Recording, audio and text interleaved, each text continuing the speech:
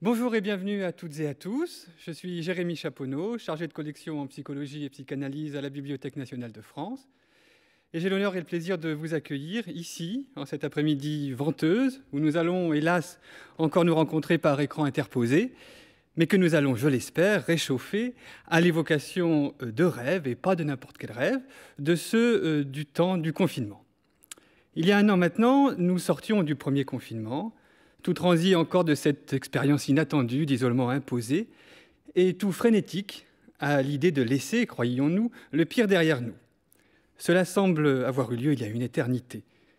À la fois la sidération du confinement strict et brutal et l'exaltation du déconfinement de mai 2020 ont laissé la place à une sorte de résignation. Les vaccins rendent optimistes, mais n'effacent pas la résignation et le fatalisme avec lequel désormais nous avons appris à suivre les mesures sanitaires. Le confinement du printemps dernier a donc été une expérience collective et individuelle exceptionnelle. Dans cette expérience, les rêves ont semblé prendre une place importante. On ne compte plus les témoignages, les articles, les remarques étonnées qui disent combien l'activité onirique en mars 2020 est apparue pour beaucoup différente de ce qu'elle était. Bien sûr, et c'est important, il y a ceux qui, du côté des rêves, n'ont rien remarqué, pour qui rien n'a changé.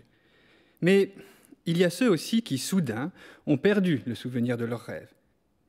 Il y en a plus nombreux qui rapportent un foisonnement surprenant de l'activité onirique.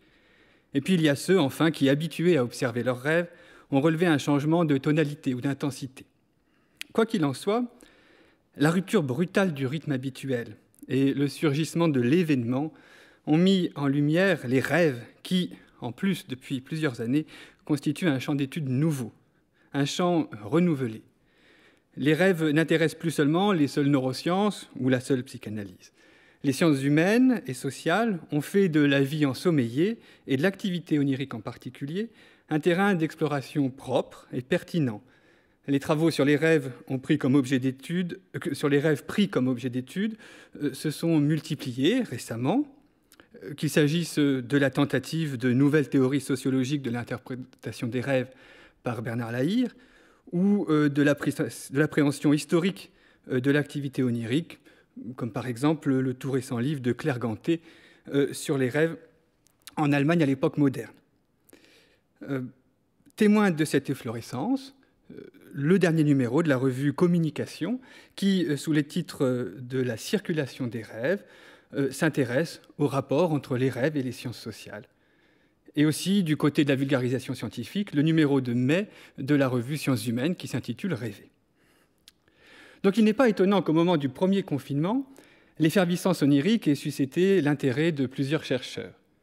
La presse, en avril 2020, euh, s'est fait l'écho de plusieurs collectes de récits de rêves menées par des neuroscientifiques à des fins de recherche. Les historiens, les sociologues, les anthropologues, eux, ont souvent davantage cherché, en collectant des récits de rêves, à documenter par les rêves le moment historique que nous vivions. Toute proportion gardée, le modèle dans son empirisme même, c'est le célèbre recueil Rêver sous le Troisième Reich de Charlotte Bérat, qui a collecté entre 1933 et 1938 les récits de rêves de centaines d'Allemands. Nous avons le plaisir d'accueillir ici les responsables de deux collectes oniriques conduites en partie au printemps 2020, avec en contrepoint deux comédiens euh, qui mettront en voix euh, des récits de rêves, façon de proposer par le jeu et l'imaginaire une interprétation des rêves de confinement à la fois poétique et sensible. Il y a donc la psychanalyse Elisabeth Serin et l'historien Hervé Mazurel, responsable du séminaire Laboratoire de psychanalyse nomade à l'espace analytique à Paris, qui ont mené la collecte dont nous avons emprunté le joli nom de Rêve de confins pour baptiser cet après-midi. Comme rien n'est pire que de parler d'un matériau qu'on ne montre pas, nous avons proposé donc à Cédric Corin de la compagnie La Traversée de mettre en voie certains récits de rêves collectés par Rêve de Confins. Lui-même et Céline Milia Baumgartner donneront vie aujourd'hui à ces récits anonymes, bribes de vie onirique. Nous avons également la joie d'accueillir à la BNF l'anthropologue Ariana Cecconi et l'artiste vidéaste Tuya Kerichi, qui ont poursuivi leur collaboration dans le cadre euh, de l'élaboration d'un outil d'enquête, l'oniroscope, dont elles nous parleront, et dont nous verrons des réalisations. L'une et l'autre aussi ont poursuivi la recherche de terrain qu'elles mènent à Marseille euh, sur la transmission du sommeil de la mère à l'enfant. Il s'agira donc de découvrir et de comparer deux approches du phénomène onirique aux méthodes et aux objets différents, portant sur des lieux et des milieux divers. Mais ces deux approches partagent la certitude que nos rêves sont déterminés aussi par la société, par le contingent historique, et qu'aussi nos rêves influencent notre vie individuelle et sociale. Les uns et les autres nous diront De quoi a-t-on rêvé depuis un an? A-t-on rêvé autrement? Le virus et les privations qui nous obsèdent hantent-ils également notre activité onirique Qui rêve de quoi en temps de confinement? Et en retour, nos rêves en disent-ils plus et mieux que nos discours sur nos façons de penser et de vivre en période d'épidémie? Je voudrais enfin remercier l'ensemble des personnes qui ont participé à l'élaboration de cet après-midi. L'endurance, et je dirais même l'obstination de chacun, a été précieuse pour que Rêve de Confins ait lieu, malgré les circonstances pénibles. Je remercie donc le département Philosophie, Histoire et Sciences de l'Homme, en particulier mes collègues Cécile Geoffroy et Tanguy Laurent, qui ont co-organisé cette manifestation, le service des manifestations de la Bibliothèque nationale et l'ensemble des techniciens grâce auquel la réalisation, la captation et la diffusion de cet événement est possible. Et je remercie aussi l'ensemble de nos invités pour leur patience et leur présence aujourd'hui. Une dernière chose avant de commencer, je dois présenter donc les intervenants de notre première intervention. Euh, il s'agit donc euh, euh, de Hervé Mazurel et d'Elisabeth Serin, qui prendront la parole juste après les comédiens. Donc je vous présente maintenant Hervé, vous êtes maître de conférences en histoire contemporaine à l'Université de Bourgogne, spécialiste de l'Europe romantique et de l'histoire des affects et des sensibilités. Vous êtes le cofondateur de la revue Sensibilité, Histoire critique et sciences sociales, dont le numéro du printemps 2018 portait déjà sur la société des rêves. Votre travail porte actuellement sur les relations de l'inconscient et de l'histoire, et vous avez publié à la découverte l'année dernière une étude sur le cas Caspar Rosser, Caspar l'Obscur ou l'Enfant de la Nuit, et vous allez faire paraître chez le même éditeur cette année une étude sur l'inconscient ou l'oubli de l'histoire, profondeur et métamorphose de la vie, de la vie affective. J'ajoute que vous avez publié pour la revue AOC Média deux textes euh, en 2020 sur euh, les transformations de certaines façons de sentir et de percevoir, notamment en ce qui concerne le toucher en ces temps de, de, de gestes ou de non-gestes sanitaires. Elisabeth Serin, vous êtes euh, psychologue clinicienne et psychanalyste à Paris. Vous exercez en cabinet et à l'unité d'aide aux jeunes Le Passage, qui dépend de la Croix-Rouge.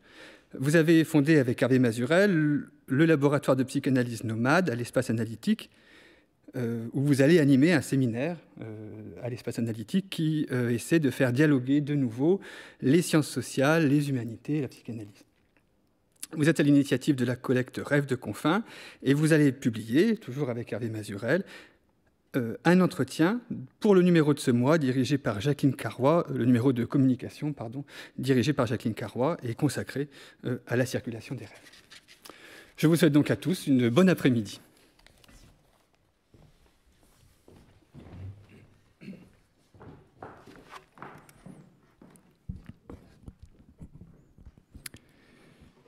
Je rêve que je suis sur un chemin boueux, en campagne, et que tout à coup s'interpose au milieu du chemin une grande barrière en bois, comme un grand mur de palettes qui me semble tout à fait insurmontable.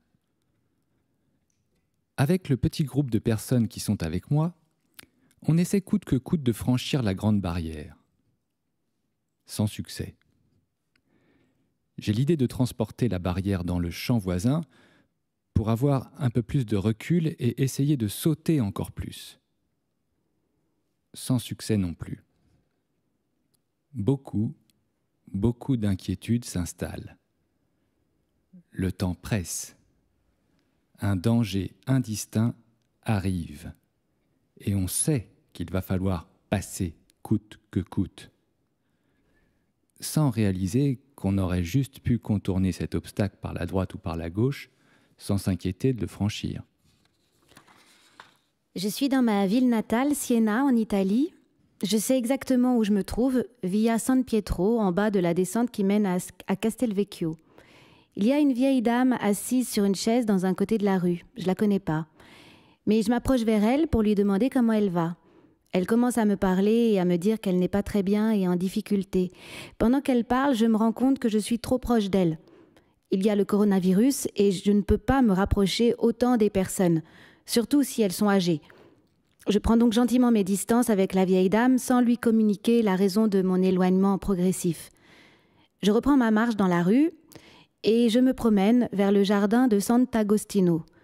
Pendant que je marche, je remarque beaucoup de personnes sans masque qui marchent tranquillement. Je suis inquiète de voir autant de personnes très décontractées, alors que nous sommes en état de confinement et nous sommes censés rester à la maison. Parmi ces personnes, je remarque à ma gauche une femme que je connais, Vera, la mère de, de deux de mes amis d'enfance qui habitaient en bas de chez nous. Elle est décédée récemment. Je l'appelle de loin, à voix haute, pour lui dire bonjour. Ça fait beaucoup de temps que je ne l'ai pas vue car je ne vis plus à Siena. Elle est avec une autre femme derrière elle, silencieuse et plus âgée. Je la reconnais après. Gina, sa mère, que j'ai connue quand j'étais enfant. Une excellente pâtissière qui faisait des gâteaux délicieux. Vera entend ma voix, me reconnaît, elle se dirige vers moi pour m'embrasser, probablement. Je l'arrête en faisant un mouvement vers l'arrière pour l'éviter. Je lui dis qu'elle ne doit pas s'approcher trop à cause du virus. Je ne veux pas l'infecter. Je voulais seulement lui dire bonjour. Souriante, elle me demande comment je vais. On se dit au revoir et avant qu'elle reprenne la route, je lui demande de passer le bonjour à ses filles, mes amies d'enfance qui vivent encore à Sienne. Je reprends mon chemin et j'arrive à Sant'Agostino. Je décide de prendre la route qui descend vers Piazza del Campo. C'est une route peu fréquentée et très belle. Je me dis que là, je serai en sécurité. Avant de commencer la descente, mon attention est saisie par la branche d'une figue qui est né entre les briques du petit mur qui entoure une partie de la place. Il s'agit d'une seule branche, très longue et bien épaisse. Elle a peu de feuilles, mais une stabilité et une résilience qui décidément me surprennent. Elle me touche par sa beauté. Je commence la descente de la rue. En effet, il n'y a personne. Après avoir fait quelques pas, je commence à me rendre compte que le sol, en pierre, commence progressivement à se transformer en champ de blé coupé, je sens sous mes chaussures les tiges dures et jaunes qui déstabilisent mon pas. Dans un premier temps, je les écrase sans me faire trop de soucis, mais au fur et à mesure que j'avance, elles grandissent, s'allongent, jusqu'à rejoindre la hauteur de mes genoux. Mon pas est déstabilisé. Elles rendent presque impossible d'avancer. Je me dis qu'il vaut mieux remonter vers Sant'Agostino plutôt que d'avancer encore, trop dangereux. En remontant, je retrouve le sol d'origine, mais je vois aussi qu'il y a un poste de contrôle que je n'ai pas remarqué au moment où j'ai commencé la descente.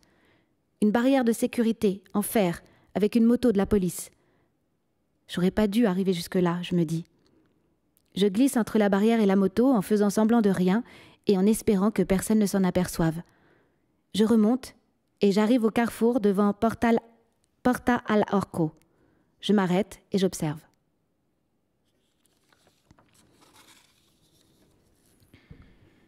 Je suis dans la forêt amazonienne en Guyane. J'y suis allé il y a 20 ans et je suis contente d'y retourner.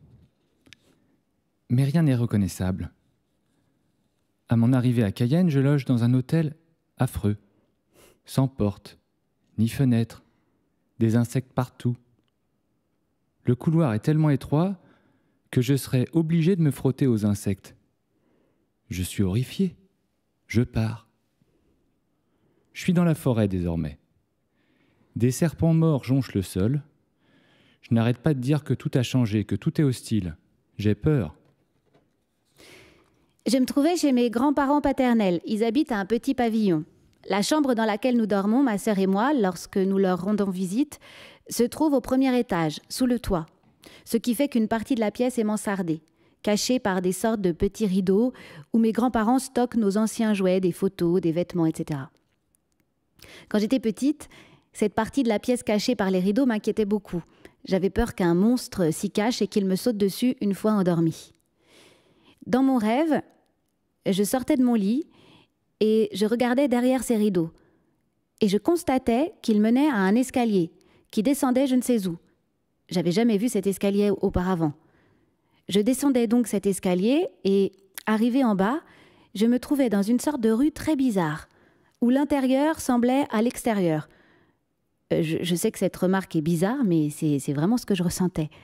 Il y avait dans cette rue des tapis, des meubles, toutes sortes de choses que l'on trouve habituellement à l'intérieur d'une maison ou d'un appartement.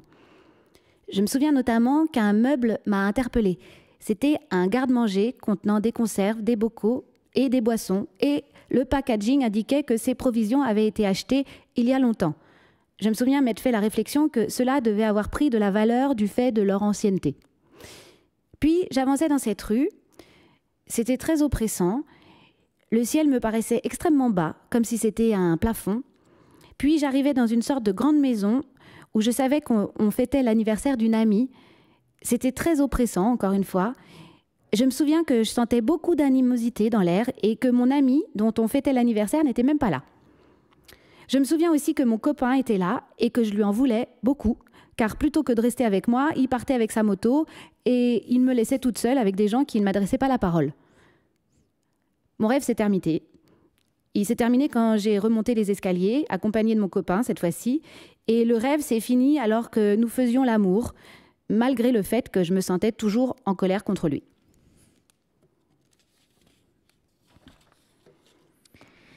Je suis en train d'avancer dans le marché de mon quartier. Je me faufile pour arriver jusqu'à un stand où je vais pouvoir récupérer des haricots verts et de la pancetta à la coupe. Je suis apaisé de voir ces tranches tomber les unes après les autres dans les mains de la marchande appliquée à sa tâche. Je suis à l'entrée d'un supermarché avec un ami et je me rends compte que je prends un panier sans gants je veux prendre un caddie, mais pareil, je me dis, j'ai pas de gants. D'ailleurs, je me demande si j'ai un masque. Je suis préoccupée et je me sens perdue par tout ce protocole, ces précautions à prendre pour faire ses courses maintenant. Ça devient une entreprise très stressante pour un besoin si important et si simple à la fois. Je suis dans ma cuisine. Les murs sont blancs. Les électroménagers sont blancs. Tout est blanc. J'ai à la main une louche métallique très lourde. Tout à coup, je suis pris d'un coup de folie et je me mets à tout casser autour de moi avec la louche en métal. C'est très violent. Je suis déchaîné. J'essaye même de défoncer un des murs avec ma louche. Une, amie arrive avec poussette, bagages et enfants, accompagnée de son mari X. Lui et moi allons partir ensemble pour quelque temps. Mais cette amie ne semble pas le savoir. Je me sens un peu gênée, j'ose pas me montrer face à elle et je reste un peu cachée derrière la porte. Elle a l'air insouciante et très heureuse. Nous nous retrouvons, X et moi, dans un ensemble de sanitaires gris et froids, tout en ciment brut. Des douches aménagées comme des box sans murs sont alignées. Il y a des rigoles creusées avec des grilles d'égout. Je me souviens avoir les pieds glacés, je sens le sol granuleux quand je marche. X et moi devons nous laver et prendre une douche. Nous faisons l'amour debout, l'eau est chaude, c'est agréable, et nous sommes bien. Plus tard, nous nous retrouvons dans un jardin, il fait beau et doux. Nous logeons dans une jolie petite maison blanche au centre de ce jardin. Nous devons y rester quelque temps, il y a beaucoup de fleurs. Tout semble aller bien, mais un matin, en me réveillant, je constate que les draps ont changé de couleur. Ils se sont brunis. Les petites fleurs imprimées du tissu rosissent nuit après nuit. Le tissu devient plus sombre et je comprends qu'il s'agit de notre sang qui est ainsi aspiré par les draps. Il n'y a pourtant ni blessure ni plaie sur nos corps et les draps restent frais, secs et doux. Rien n'est poisseux comme le sang peut l'être, mais c'est bien de notre sang dont il s'agit. Je le sais. Je commence à paniquer, non pas parce que nous saignons, mais parce que nous tâchons les draps. Je me mets à la recherche du contrat de location de la maison. Il est bien écrit que nous devons rendre la maison dans son parfait état, que les linges et mobiliers doivent être intacts. Je pense à aller acheter d'autres draps, mais je me souviens subitement que tous les magasins sont fermés et que je ne pourrai pas en trouver. Je suis en panique et je me réveille complètement angoissée.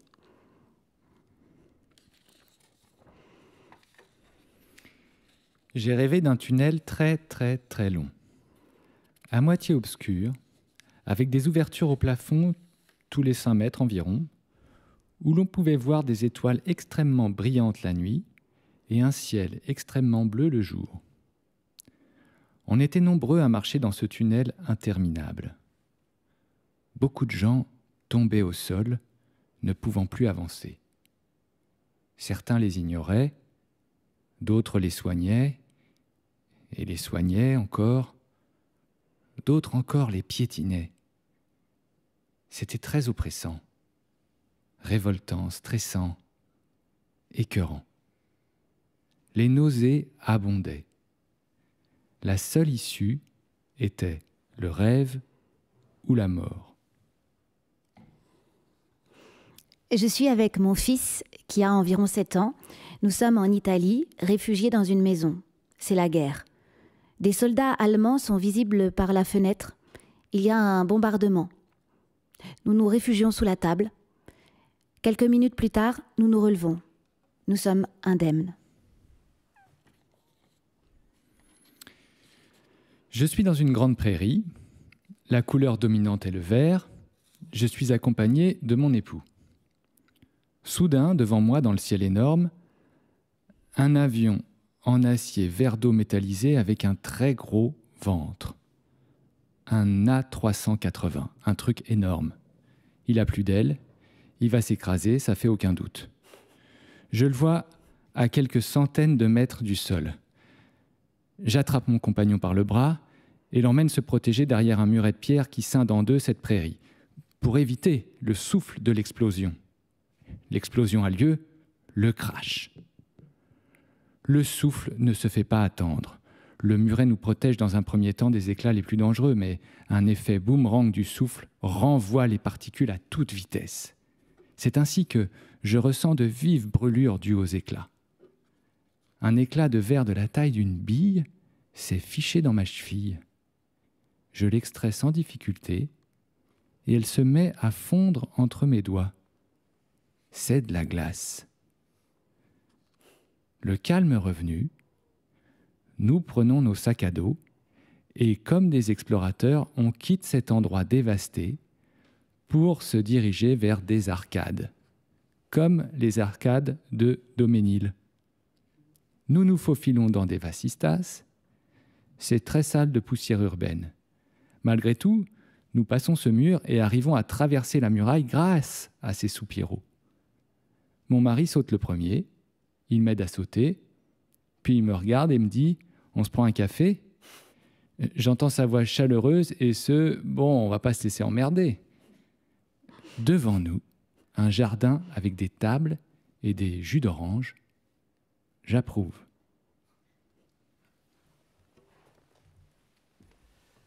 Bonjour à tous. Euh, je voudrais d'abord remercier euh, beaucoup euh, Céline et Cédric pour, cette lecture très précieuse pour nous, parce qu'en fait, on se rend compte qu'on en apprend beaucoup hein, sur ces rêves que nous connaissons pourtant très bien avec Elisabeth.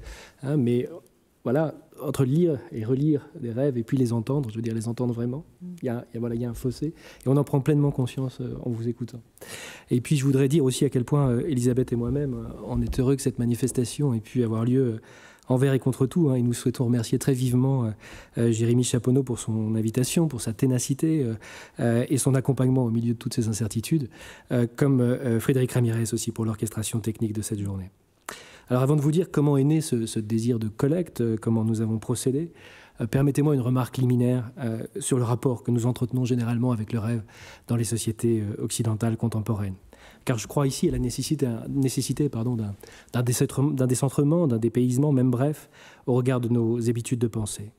Car si nous ne cessons de dire que les rêves sont mystérieux, euh, énigmatiques, perturbants, euh, nous n'avons pas moins pour la plupart en partage, hein, et notamment depuis Freud et l'épanouissement de la psychanalyse, l'idée devenue de sens commun que les rêves ne sont pas tant, comme on l'a longtemps cru, euh, une annonce de l'avenir, un présage de l'histoire, mais bien plutôt hein, la résurrection d'expériences antérieures, hein, la surgie dans nos songes d'un passé plus ou moins archaïque ou crypté. De surcroît, euh, nous tenons généralement, nous, Européens, à affirmer l'existence rassurante d'une barrière étanche entre l'imaginaire et le réel, euh, entre le rêve et la veille, entre le nocturne et le diurne, comme si, en quelque sorte, hein, nous tenions absolument à ériger une sorte de mur infranchissable hein, qui permette hein, de nous prémunir de l'incertitude qui vient des rêves. Il n'en a pas toujours été ainsi. Un des Grecs, par exemple, Nietzsche disait que parce qu'il croyait au rêve, il voyait euh, la vie éveillée s'animer d'un tout autre jour. Hein, les anciens Grecs euh, se faisaient en effet une toute autre idée de l'entrelacement des rêves et de la réalité. Bien des ethnologues euh, du XXe siècle, par ailleurs, ont donné l'exemple de groupes humains euh, pour lesquels les rêves nocturnes s'insèrent étroitement hein, dans la vie, euh, dans la trame de l'existence quotidienne. Hein. par exemple, chez les Indiens Moaves d'Arizona, étudiés par, par Georges Devreux, le père de l'ethnopsychiatrie. Hein, pour eux, pour les Moaves, dit-il, rien n'arrive jamais qui n'ait été auparavant rêvé par quelqu'un. Dire ceci, c'est rappeler simplement que le rôle attribué au songe demeure toujours fonction de la culture d'appartenance et si d'ailleurs en Occident, rappelez Devreux, on interprète volontiers les rêves en termes de culture, dans d'autres régions du monde, on interprète au contraire les cultures en termes de rêves. D'ailleurs, hein, il faudrait sans doute méditer longuement ici le propos de son ami Roger Bastide, l'un des rares sociologues à s'être penché longuement, euh, au milieu des années 60-70, euh, sur l'homme endormi et, et ses états crépusculaires. Le rêve, écrivait-il, nous paraît magique parce que nous ne savons plus en Europe ce qu'est le sacré. Une chose est sûre, hein, ce, qui me paraît, que me paraît signaler, pardon, révéler, traduire l'écho, et notamment l'écho médiatique, de ces différentes collectes euh, euh, réalisées au printemps 2020 hein, auprès des, rêveuses et rêveurs confinés, c'est bien que les rêves n'en finissent pas finalement de fasciner nos contemporains, hein, du fait euh, de cette sorte d'aura qui les entoure, de ce caractère magique justement. Comme si à travers eux, nous avions bel et bien la certitude d'avoir un accès privilégié vers des vérités intimes, obscures et cachées, d'atteindre ainsi à la vérité foncière des êtres, à notre vie psychique secrète et profonde, individuelle d'abord, mais peut-être aussi collective. J'en viens à notre collecte, hein, donc dénommée Rêve de confins, que nous avons lancé avec Elisabeth au moment même où nous créons, donc euh, nous avons créé cette, euh, ce, regroupement, ce groupe de recherche, hein, une trentaine d'analystes et de chercheurs en sciences sociales, qui euh, cherchent à, faire revivre le dialogue, souvent plein de malentendus et, de, et entre la psychanalyse et les sciences sociales, hein, avec l'histoire, la sociologie et l'anthropologie notamment ce qui n'est pas une mince affaire, hein, tant nous ne semblons pas le plus souvent parler la même langue, hein, très clairement. Euh, mais il n'en reste pas moins urgent, euh, selon nous, d'essayer justement de mieux articuler, comme y invitait euh, Cornelius Castoriadis, qui était philosophe mais aussi psychanalyste, hein, la psyché individuelle et le social historique. En interrogeant notamment, disait-il, les rapports difficiles que la psychanalyse entretient depuis Freud avec l'historicité, justement. Je vais tâcher de vous exposer rapidement les raisons et les postulats de notre collègue, puis les modalités de celle-ci, très simples hein, et, très, euh, très imparfaites, vous le verrez, avant de laisser euh, Elisabeth hein, vous décrire la manière même, euh, décrire pardon, la matière même de ses récits de rêve, sa lecture personnelle, sa traversée personnelle de cette matière, en esquissant hein, les premiers résultats auxquels nous sommes parvenus, même si le plus gros du travail, j'y insiste, est devant nous, très clairement. D'abord, pourquoi cette collecte hein? J'y vois trois raisons principales. Hein. L'idée vient tout d'abord d'Elisabeth, qui euh, très tôt, euh, dès les premiers temps, dès les premiers jours euh, du confinement, m'a alerté parce qu'elle constatait, comme ses collègues, combien l'inquiétude sourde née de la pandémie, hein, combien la privation des libertés, l'expérience coercitive du confinement influait, influait, sur la vie onirique de ses patients, la perturbait profondément. On a d'ailleurs souvent reçu, les premiers temps, les témoignages d'un certain nombre d'analysants, donc des gens qui étaient en analyse, qui avaient l'habitude de noter leurs rêves au petit matin, hein, nous disant justement hein, se réveiller systématiquement au milieu de leurs rêves, sans qu'aucun d'eux n'arrive jamais au bout. Hein. Une rêveuse, ça m'a frappé, expliquait justement que depuis l'annonce du confinement, elle ne retenait plus que des images de ses rêves, sans aucun lien ni narration associée, sans fil narratif, en somme. Et ce, ce trouble dans le rêve, c'est bien notre point de départ. Ensuite, nous avions en tête, l'un et l'autre, l'existence de plusieurs précédents marquants euh, en matière de collecte réalisée à chaud, c'est-à-dire à même euh, l'événement historique, dans son surgissement. Il y a deux ans environ est reparu, le livre 82 rêves aux éditions Alary, un fruit d'une collecte réalisée euh, pendant la Seconde Guerre mondiale. Son auteur, Émile Sidzia, a cherché à savoir justement sous quelle forme la guerre s'était insinuée dans le sommeil des gens. Mais la plus célèbre de ces collectes, euh, Jérémy en parlait tout à l'heure, reste celle de Charlotte Bérat, donc hein, publiée sous, ce titre, Rêver sous le Troisième Reich, euh, une enquête. Euh, donc Charlotte Bérat est une proche d'Anna Arendt, juive berlinoise, opposante communiste, hein, qui pendant près de six ans donc a fait une collecte de près de 300 rêves. qui était pour elle un acte de résistance au régime hitlérien hein, et qui qui mêlait des rêves de toutes les classes sociales. Hein, ce qui était très intéressant ici, hein, depuis des rêves de femmes de ménage jusqu'à ceux de grands patrons, en passant par des petits commerçants ou des universitaires. Dans ce matériau assez fascinant hein, se laisse appréhender le retentissement émotionnel du politique et l'entreprise de terreur et de colonisation de l'intime réalisée, mis en œuvre par Hitler et ses proches. Les uns rêvent qu'ils sont surveillés à chaque instant du jour, d'autres que s'effondrent les murs protecteurs de leur chambre, d'autres encore, et parfois les mêmes, imaginent des microphones dissimulés dans tout l'appartement.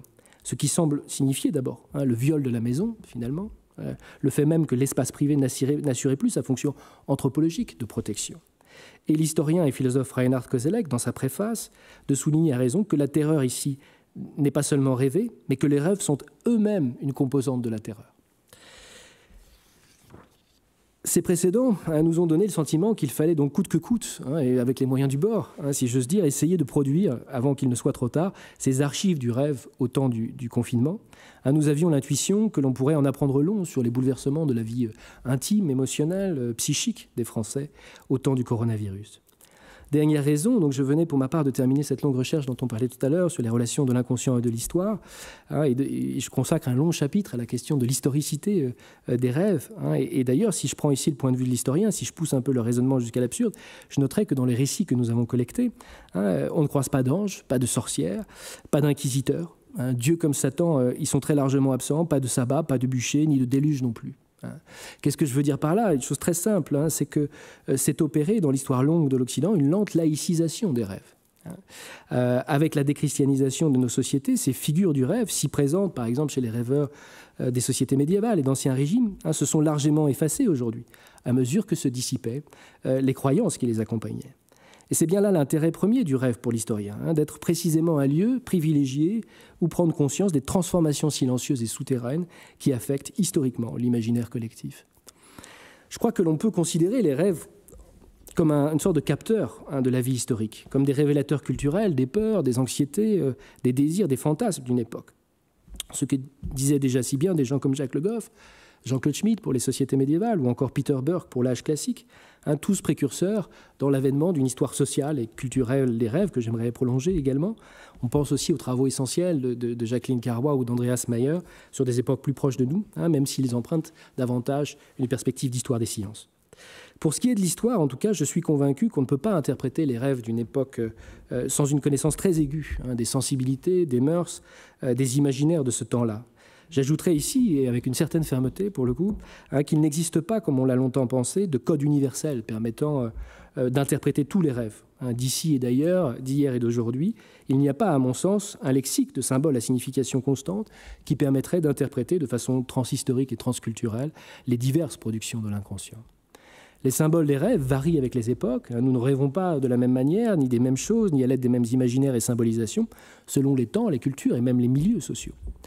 Hein, et d'ailleurs, si jamais vous avez lu euh, ce livre, hein, la, grande transformation du sommeil de Robert euh, euh, Ekirch, hein, qui a été récemment traduit dans la, très belle édition, enfin un éditeur vraiment à suivre, les éditions Amsterdam, vous apprendrez que nous dormons très différemment d'autrefois, que la révolution industrielle et sa nouvelle discipline de travail ont bouleversé nos nuits, nos rythmes nocturnes. notre sommeil d'un bloc, de 8 heures environ, moi c'est plutôt beaucoup moins, mais n'a rien de naturel en réalité.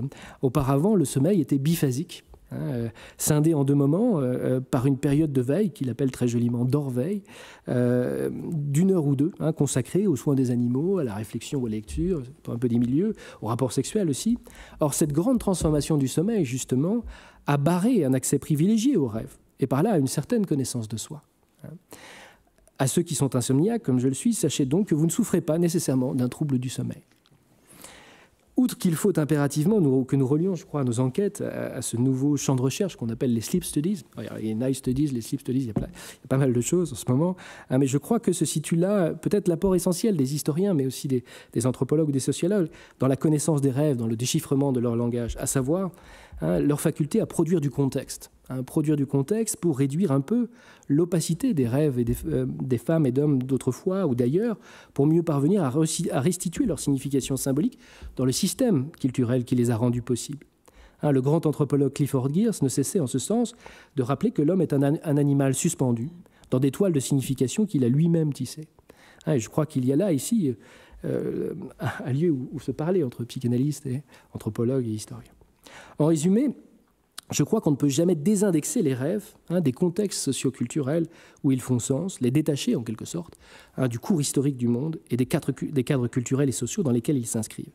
Or, il arrive parfois hein, que les psychanalystes aient pu manquer de, manquent ou aient pu manquer de prudence lorsqu'ils analysent des, des, rêves émanant de sociétés lointaines ou d'époques reculées, au risque de sombrer soit dans l'ethnocentrisme, soit dans l'anachronisme psychologique et parfois les deux. De là l'importance, hein, à mon sens, de créer un espace commun, de créer les conditions d'un dialogue renouvelé, véritable, d'une interlocution réussie, afin que l'histoire, la sociologie, l'anthropologie, la psychanalyse, donc, puissent euh, ne pas rester finalement murées dans leurs frontières, comme ça, a été longtemps le cas, et s'enrichissent hein, vraiment les unes les autres, loin des carcans disciplinaires, loin de l'esprit de spécialité qui finit à la fin par nous aveugler. Et c'est d'autant plus possible que nous partageons hein, tous, je crois, euh, Jérémy le disait tout à l'heure, euh, une certaine approche des rêves. Là où la plupart des, cognitivistes ou des neuroscientifiques considèrent que les rêves ne sont avant tout que les scories de nos nuits et donc invitent à ne pas s'acharner à, trouver du sens à ceux qui n'en possèdent pas, hein, les chercheurs en sciences sociales comme les psychanalystes refusent, eux, hein, de, voir, de ne voir dans les rêves qu'un désordre, euh, enfin qu'un oui, désordre de simulacres insignifiants. Hein, déchiffrer les rêves est une activité qui a beaucoup de sens pour nous, clairement. Il est vrai qu'aujourd'hui, euh, les psychanalystes tendent, semble-t-il, à délaisser euh, un peu les rêves, peut-être pas tant dans leur pratique, mais dans leurs écrits, hein, dans leurs publications.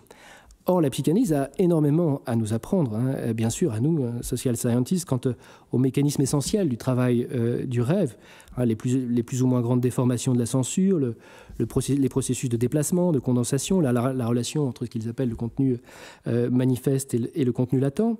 Hein, pour autant, je le disais, les rêves n'ont pas de raison intrinsèque de rester une sorte de chasse gardée de, la psychanalyse ni des neurosciences. Hein, euh, euh, Michel Foucault, dans un texte de Genèse d'une très grande force que je vous invite à lire, qui date de 1954, il était tout jeune, hein, qui était consacré à la lecture approfondie euh, du livre Rêve et existence de Ludwig Binswanger, estimait que Freud, justement, par l'arbitraire parfois de son interprétation, écrasait trop, souvent, selon lui, le polysémantisme des symboles. Surtout, ajoutait-il, hein, il lui reprochait d'avoir oublié que le rêve, avant d'être une affaire de langage et de mots, est avant tout une rhapsodie d'images, et que faire parler les images du rêve nécessitait dès lors de commencer par recourir à une véritable anthropologie de l'imagination. Ce qui ne manquerait pas de révéler, hein, disait-il, bien des couches de signification laissées dans l'ombre par la méthode freudienne.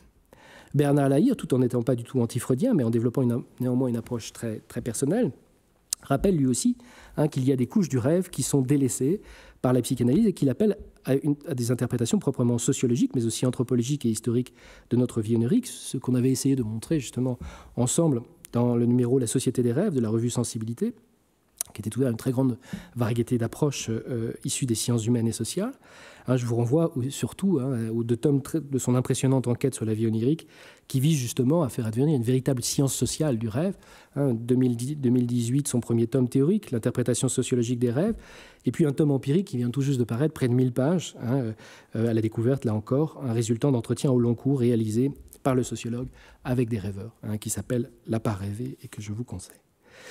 L'un des défis auxquels nous sommes confrontés dans notre collecte tient justement euh, au fait de ne plus, euh, de ne plus dissocier, hein, c'est plus facile à dire qu'à faire, le psychologique et le sociologique. Hein.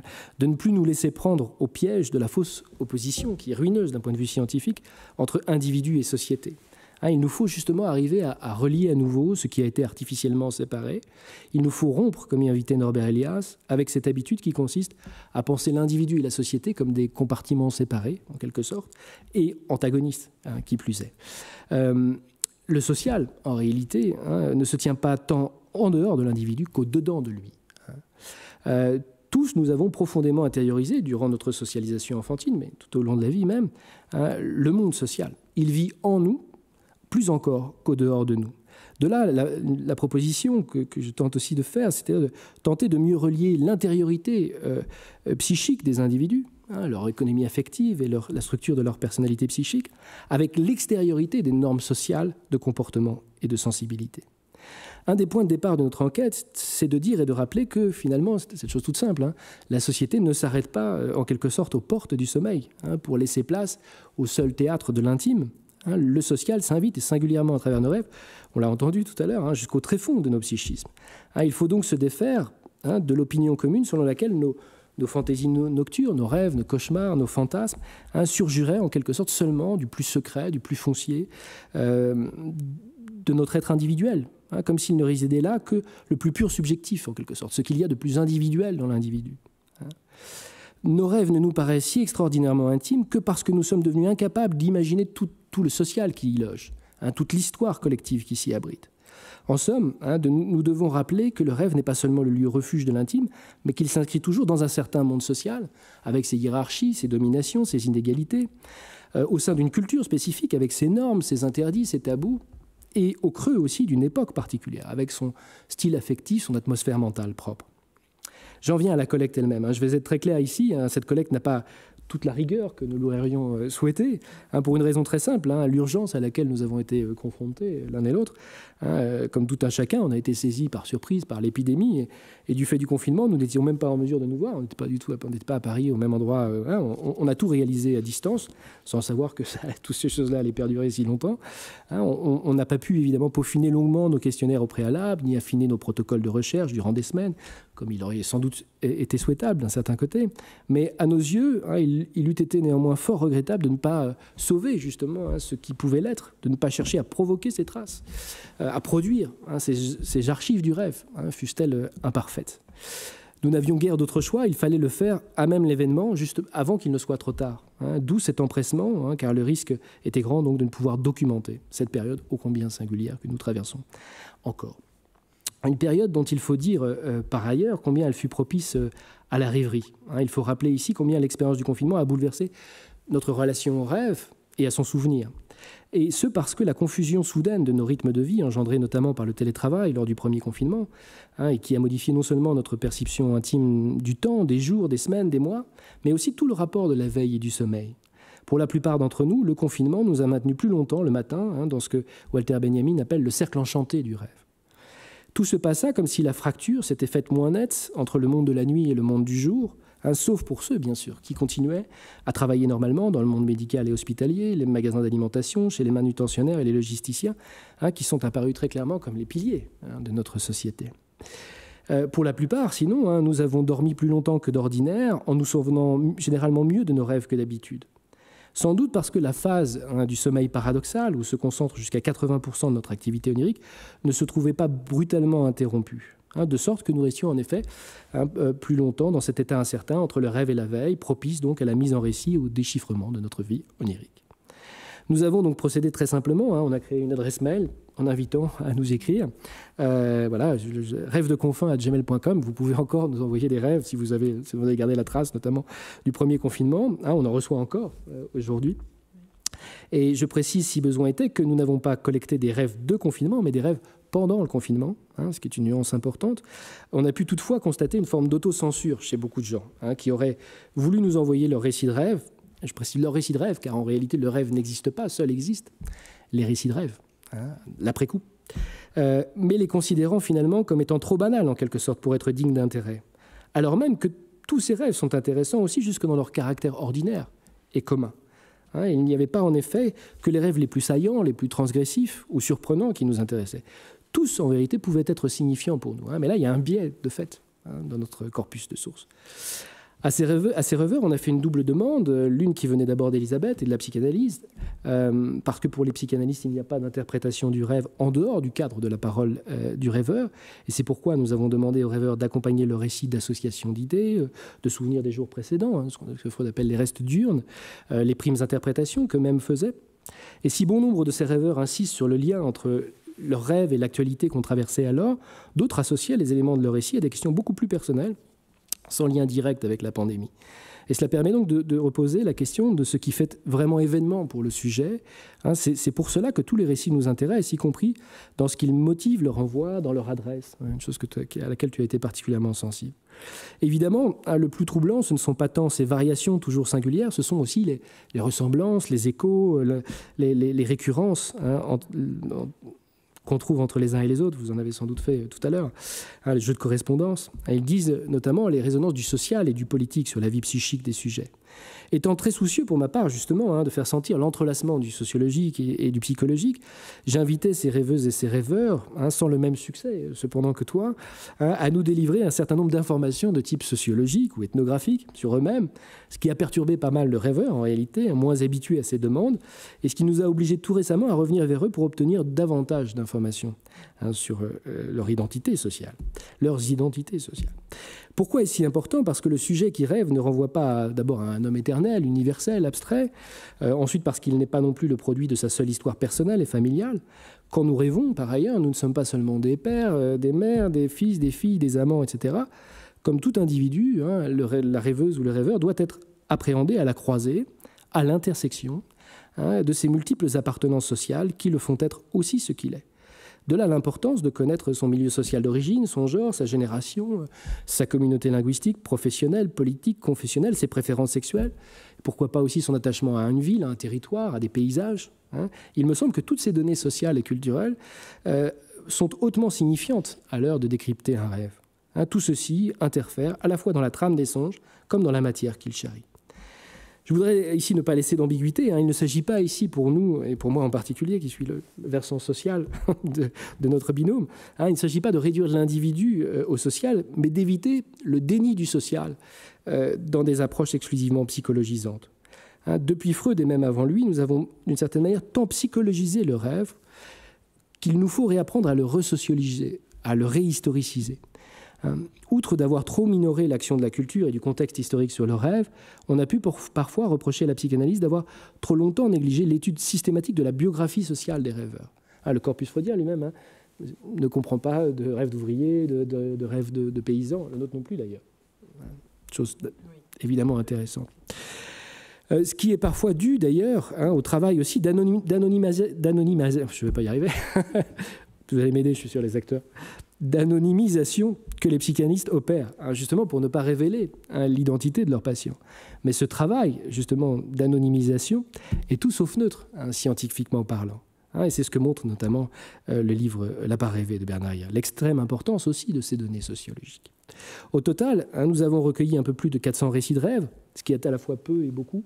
C'est un peu plus que le livre de Charlotte Béat, mais c'est beaucoup moins que certains travaux, certaines collectes de neuroscientifiques, je pense à la collecte orchestrée par Perrine Ruby, mais qui s'intéresse à toute autre chose, hein, aux bases euh, cérébrales du rêve, neuronales du rêve. Euh, c'est qu'au départ, hein, nous, avons commencé assez simplement, hein, on a mobilisé nos réseaux professionnels, euh, personnels, d'abord la sociabilité d'analysants et de psychanalystes par ton biais, de chercheurs, d'enseignants, d'étudiants par le mien, puis les cercles familiaux, amicaux, et puis petit à petit, il y a eu comme un effet d'entraînement liés aux réseaux sociaux, très clairement, et puis petit à petit, des articles de quotidien, d'hebdomadaires, des émissions de radio qui ont donné à cette collecte une dynamique à laquelle nous ne nous attendions pas une seconde. Hein. On a été très surpris en réalité de, cet intérêt. Et du même coup, au fil de semaines, le spectre des identités et des appartenances sociales hein, n'a cessé de s'élargir. On a touché de plus en plus de gens, de milieux moins privilégiés aussi, sans doute, hein, et venant de tous les coins du pays, moins parisiens également. Au départ, euh, nous avions en effet beaucoup de récits d'analysants, de gens avertis de la psychanalyse, des gens qui ne cherchaient pas à organiser le récit, laissant des lapsus, des néologismes, des ratés, etc. Et puis, ça a laissé place peu à peu à des messages de personnes simplement curieuses de notre démarche, ou plus attentives en cette période à leurs rêves, inquiet parfois aussi de cette traversée, hein, sollicitant aussi nos éclairages, surtout les tiens, hein, en tant qu'analyste, pour essayer de, justement de décrypter les, rêves, qui étaient les leurs. Nous avons également reçu aussi de nombreuses propositions de collaboration émanant d'artistes, de passionnés, de cueilleurs de rêves, hein, proposant généreusement euh, de mettre à disposition leur propre collecte. Bref, autant de témoignages en somme du réel intérêt que continuent à apporter les gens d'aujourd'hui à leur vie onirique et psychique. Reste que nous n'avons pas pu réaliser encore une sociologie un peu fine hein, de ces rêveuses et rêveurs. Hein, nous n'avons pas brassé la totalité des données sociologiques reçues pour la simple raison qu'on a bien des toi tu as bien, bien des patients en ce moment dont tu dois t'occuper, et moi bien d'autres recherches aussi à poursuivre. Hein, euh, notre travail ne permettra pas euh, l'usage d'armes statistiques comme on pourrait le faire dans une banque de rêves. ça relève davantage de la collection, toi tu dirais d'une cueillette de rêves. Euh, mais notre, voilà, notre traitement, à l'arrivée, sera plus qualitatif en quelque sorte que quantitatif. Et bien sûr, hein, nous, ne devons jamais être dupes des biais hein, liés à, la forme de l'enquête elle-même. Hein, nous devons toujours garder à l'esprit que nous avons, nous n'avons pas pu réunir un échantillon de récits de rêve qu'on pourrait dire représentatif de la société française. Mais en même temps, qui a pu et a su le faire Qui en a eu les moyens et le temps suffisants? Personne, à ma connaissance, en France en tout cas. Au fond, nous serions déjà heureux si nous parvenions à éclairer quelques aspects méconnus hein, de cette inconscience ou confinement, en montrant notamment qu'il n'existe pas hein, de coupure radicale entre le psychique et le social, car je crois que la période de confinement qui a accompagné la pandémie du Covid-19 constitue précisément un poste d'observation privilégié de l'étroite corrélation qui existe euh, entre les transformations des structures sociales, ou des mœurs si vous voulez, et celles des structures psychiques. Pour le dire un peu plus poétiquement, Hein, pour observer la coïncidence des constellations sociales et psychiques, comme dirait Abraham Gardiner, un psychanalyste qu'il faut redécouvrir, un psychanalyste américain qui était un ancien patient de Freud, hein, qui était féru de dialogue avec l'anthropologie.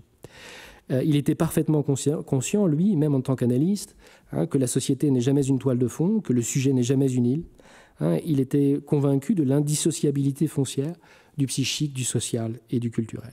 Je vais passer la parole à Elisabeth pour qu'elle évoque sa façon bien à elle hein, de traverser ce matériau onirique, euh, mais aussi pour nous dire à quel point ces rêves de confins sont également très révélateurs des futurs espérés ou craints hein, des rêveurs et rêveuses, des horizons d'attente hein, de nos contemporains. Je crois que ce corpus de rêves se révèle un lieu particulièrement intéressant pour donner à voir justement les manières nouvelles que nous avons eues d'être autant, c'est-à-dire d'articuler le passé, le présent et le futur dans cette période ô combien troublée. Mais avant cela, je crois qu'on va réécouter encore quelques rêves, euh, le matériau même, avant euh, que Lisa euh, les analyse.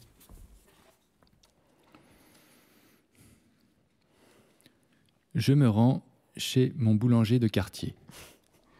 Je fais la queue. Je constate que mon boulanger n'est pas mon boulanger, mais mon coiffeur. Cela m'étonne. Le boulanger est vêtu d'une combinaison jaune, comme celle que portent les spécialistes en protection chimique ou nucléaire. Sa tête est surmontée d'une sorte de cloche en plastique souple et translucide, comme celle que portent les malades italiens atteints par le Covid-19 et que l'on peut voir à la télévision. Ses mains portent des gants en plastique blanc. Ses doigts sont boudinés ont la consistance de la saucisse. Il serre les baguettes avec peine. Dans la queue, tous les clients sont masqués. Je suis le seul à pas porter de masque. Arrive mon tour, le boulanger refuse de me servir, car je n'ai pas de masque. Je sors du magasin honteux et je me réveille. J'ai rêvé il y a trois jours que je déambule dans la rue, une rue américaine. Dans ce rêve, je suis chez moi dans mon quartier, qui n'est pas du tout mon quartier dans la réalité. Je, je sympathise avec un homme qui me semble très sympathique et digne de confiance. Il me propose de prendre un café chez lui, j'accepte. En arrivant devant chez lui, sa porte est en soubassement et ressemble à un hublot. On entre. Le couloir de l'entrée est long et ressemble à un sous-marin, un long tube avec plein de vannes. Je me retourne, la porte est fermée avec une grosse vanne en forme de roue, impossible de sortir. J'arrive au bout du couloir véritable, c'est un véritable sous-marin qui donne sur une pièce avec une grande vitre horizontale sur la rue. Sur la vitre, je, m'aperçois que des coups ont été donnés. D'autres personnes sont venues et ont essayé de sortir en cognant sur la vitre, mais celle-ci est incassable. Seul un peu de scotch est disposé par endroits. Les gens dehors ne me voient pas. Mon ami est en fait un assassin. Je panique, je veux m'enfuir. Dieu merci, je me réveille. Je me suis retrouvée inscrite dans une séance dans l'application Zoom où il y avait 500 autres personnes. Chacun à son tour devait montrer ce qu'il avait cuisiné ce jour-là ou au moins partager une photo. Tout de suite, je me suis sentie totalement angoissée et je n'arrivais pas à me déconnecter du Zoom.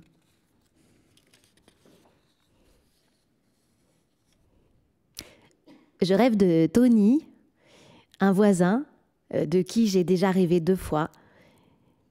Nous sommes chez lui, nous, nous avons envie l'un de l'autre, l'émotion est très forte.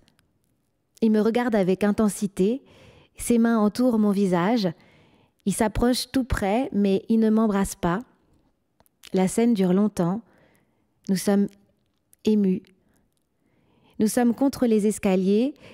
Il glisse une main sous mon t-shirt, caresse doucement ma poitrine et descend lentement sur ma taille.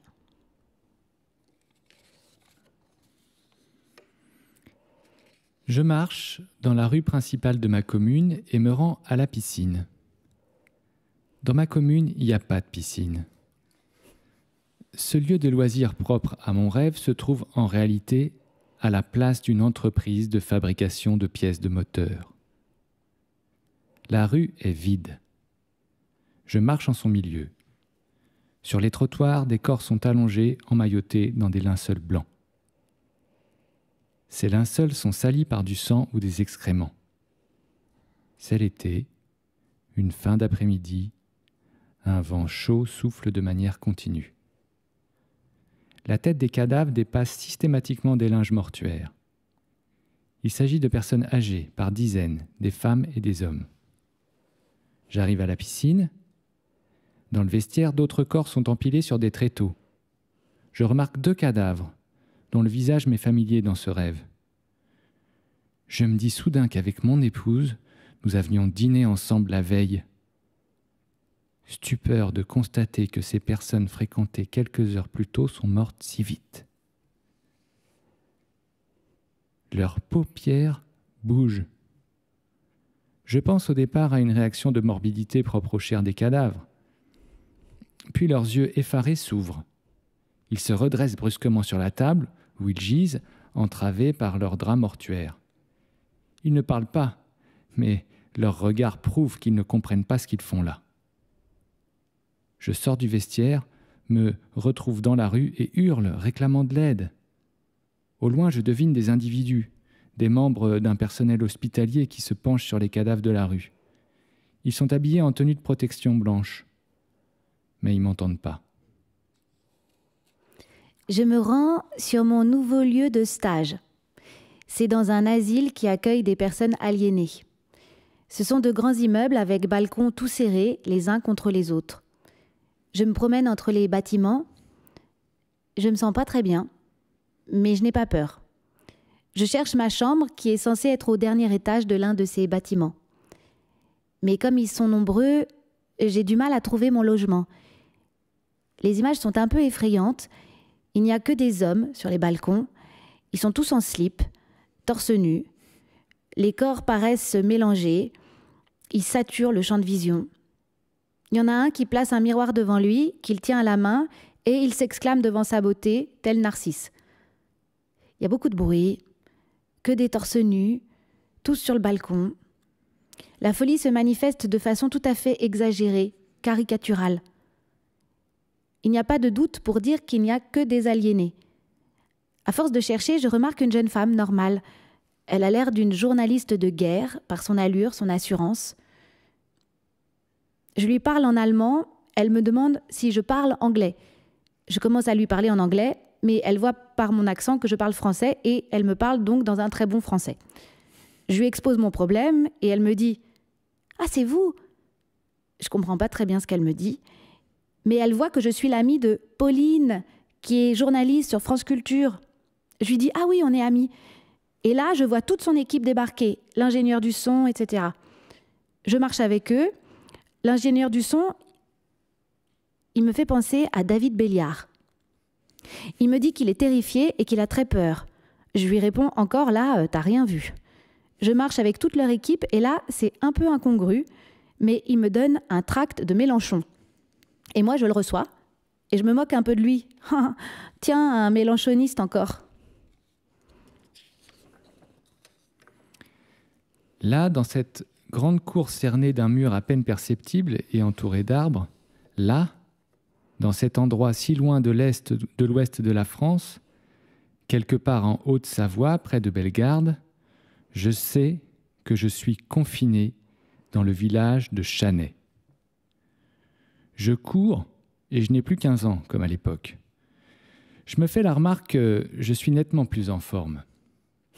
À plus de 50 ans, j'ai retrouvé la santé physique. Alors qu'à l'époque, j'étais mélancolique et souffreteux. Je viens de faire un ou deux tours de cours, je suis très fier. Je suis empreint d'un sourire intérieur. Mais je suis aussi rattrapé par la tristesse, car je suis enfermé ici et je ne suis pas sûr que cela soit de mon plein gré. Je suis un peu comme le cheval euh, retournant à l'écurie lorsqu'elle est en feu. Dans ce village, il y a un centre climatique. C'est un ancien sanatorium, un centre pour les enfants tuberculeux, tuberculeux un, endroit où attendre la mort le plus en douceur. À mes 15 ans, j'y viens parce que je suis suicidaire. C'est une mesure d'éloignement préconisée par ma psy. Seulement, je suis seul à en mourir. Si je reconnais avoir quitté cette claustrophobie de l'appartement d'où je viens, au bout de quelque temps, j'ai aussi l'impression qu'on s'est débarrassé du problème. Et comme c'est moi qui l'incarne le problème, la famille s'en porte peut-être mieux comme ça, et moi je vais crever ici en terre inconnue face aux Alpes. J'entends les trains passer quand je me lève la nuit pour fumer à la fenêtre des douches. Car c'est un moyen que nous avons trouvé pour pouvoir fumer entre deux rondes. Deux fois par nuit, nous avons le droit au faisceau des lampes de poche des gardiennes qui nous aveuglent. Le dernier rêve dont je me souvienne était dans ma chambre, sans certains meubles, les volets fermés, mais avec toujours une lumière matinale. Il y avait une trentaine de personnes collées les unes aux autres qui dormaient, nues. Nous partagions la même sensation de bien-être après un rapport sexuel, tous et toutes. Malgré la proximité physique, je ne ressentais pas la moiteur, la moiteur d'autrui. La température était optimale. J'étais acteur et observateur à la fois. C'était agréable et nous dormions. Je suis dans un train, ambiance d'exode, de fuite. Je suis accompagné, semble-t-il, de plusieurs personnes, deux femmes. Leur identité et même leur visage sont flous. Dans ce train, une personne me demande de l'aide, au moins à deux reprises, pour des services dont je n'ai pas la mémoire, mais apparemment importants et suffisamment sérieux pour que je prenne à cœur et promette de le faire dès que possible. Un temps indéterminé s'écoule. Et je retrouve cette personne, cette fois, dans le rôle d'un contrôleur des billets du train où je me trouve. Les deux femmes sont de plus en plus indistinctes dans le paysage de cette nouvelle scène. Sont-elles seulement encore là? Je ne les situe plus précisément. Un accident nous oblige à descendre du train voire rebrousser chemin le temps de pallier ou résoudre cet accident. Et ensuite, reprendre le train suivant. Je me sais en l'absence de possession du billet valide pour le train où je me trouve désormais. Je suis épuisé, abattu devant cette situation mystérieuse, situation que j'appréhende avec une fatalité digne d'une personne parvenu en fin de vie, enfin de tout ce qui l'avait fait tenir jusqu'ici. Je fouille mes poches à la recherche d'éléments probants qui attestent mes justifications auprès du personnage contrôleur. Mes poches de veste débordent de papiers et feuillets de toutes sortes, remplis d'une multitude de notes écrites comme dans une frénésie de désir hypermnésique. Je lui sors des feuillets agrafés ensemble qui décrivent le projet, minutieusement planifié et organisé jusque dans ses moindres détails, du voyage en cours, depuis le point de départ jusqu'à celui fiévreusement imaginé et espéré de l'arrivée.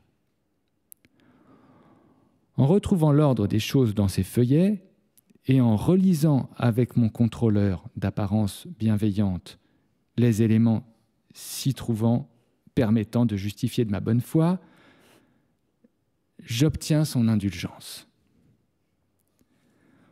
Au moment où il me laisse repartir sans amende, il me rappelle que je lui avais promis deux services précédemment et qu'il compte toujours beaucoup sur moi. C'était important. C'est là que je m'effondre, comme pris d'une attaque, mais sans douleur sous le poids de la mémoire devenue trop lourde à porter, des promesses accumulées, désormais difficiles à tenir. Post-coronavirus, le monde a beaucoup changé, une espèce de régression absurde. Les villes sont très rustiques, Paris est un royaume et il faut le repeupler. Les femmes sont invitées à tirer au dé combien d'enfants elles devront faire. Je tire et 5 dés de 6 sortent du premier coup. Je suis donc destinée à faire 30 enfants. Mais pas seulement. Effectivement, beaucoup s'agitent autour de moi, m'expliquant que je suis l'élu. On m'enlève ma robe un peu sale pour me mettre un corset. On m'endentelle les jambes. On m'enfile des souliers très étranges qui ressemblent un peu à, à des casseroles. Et enfin, on m'installe sur une chaise où j'attends celui qui sera lui aussi destiné à faire 30 enfants.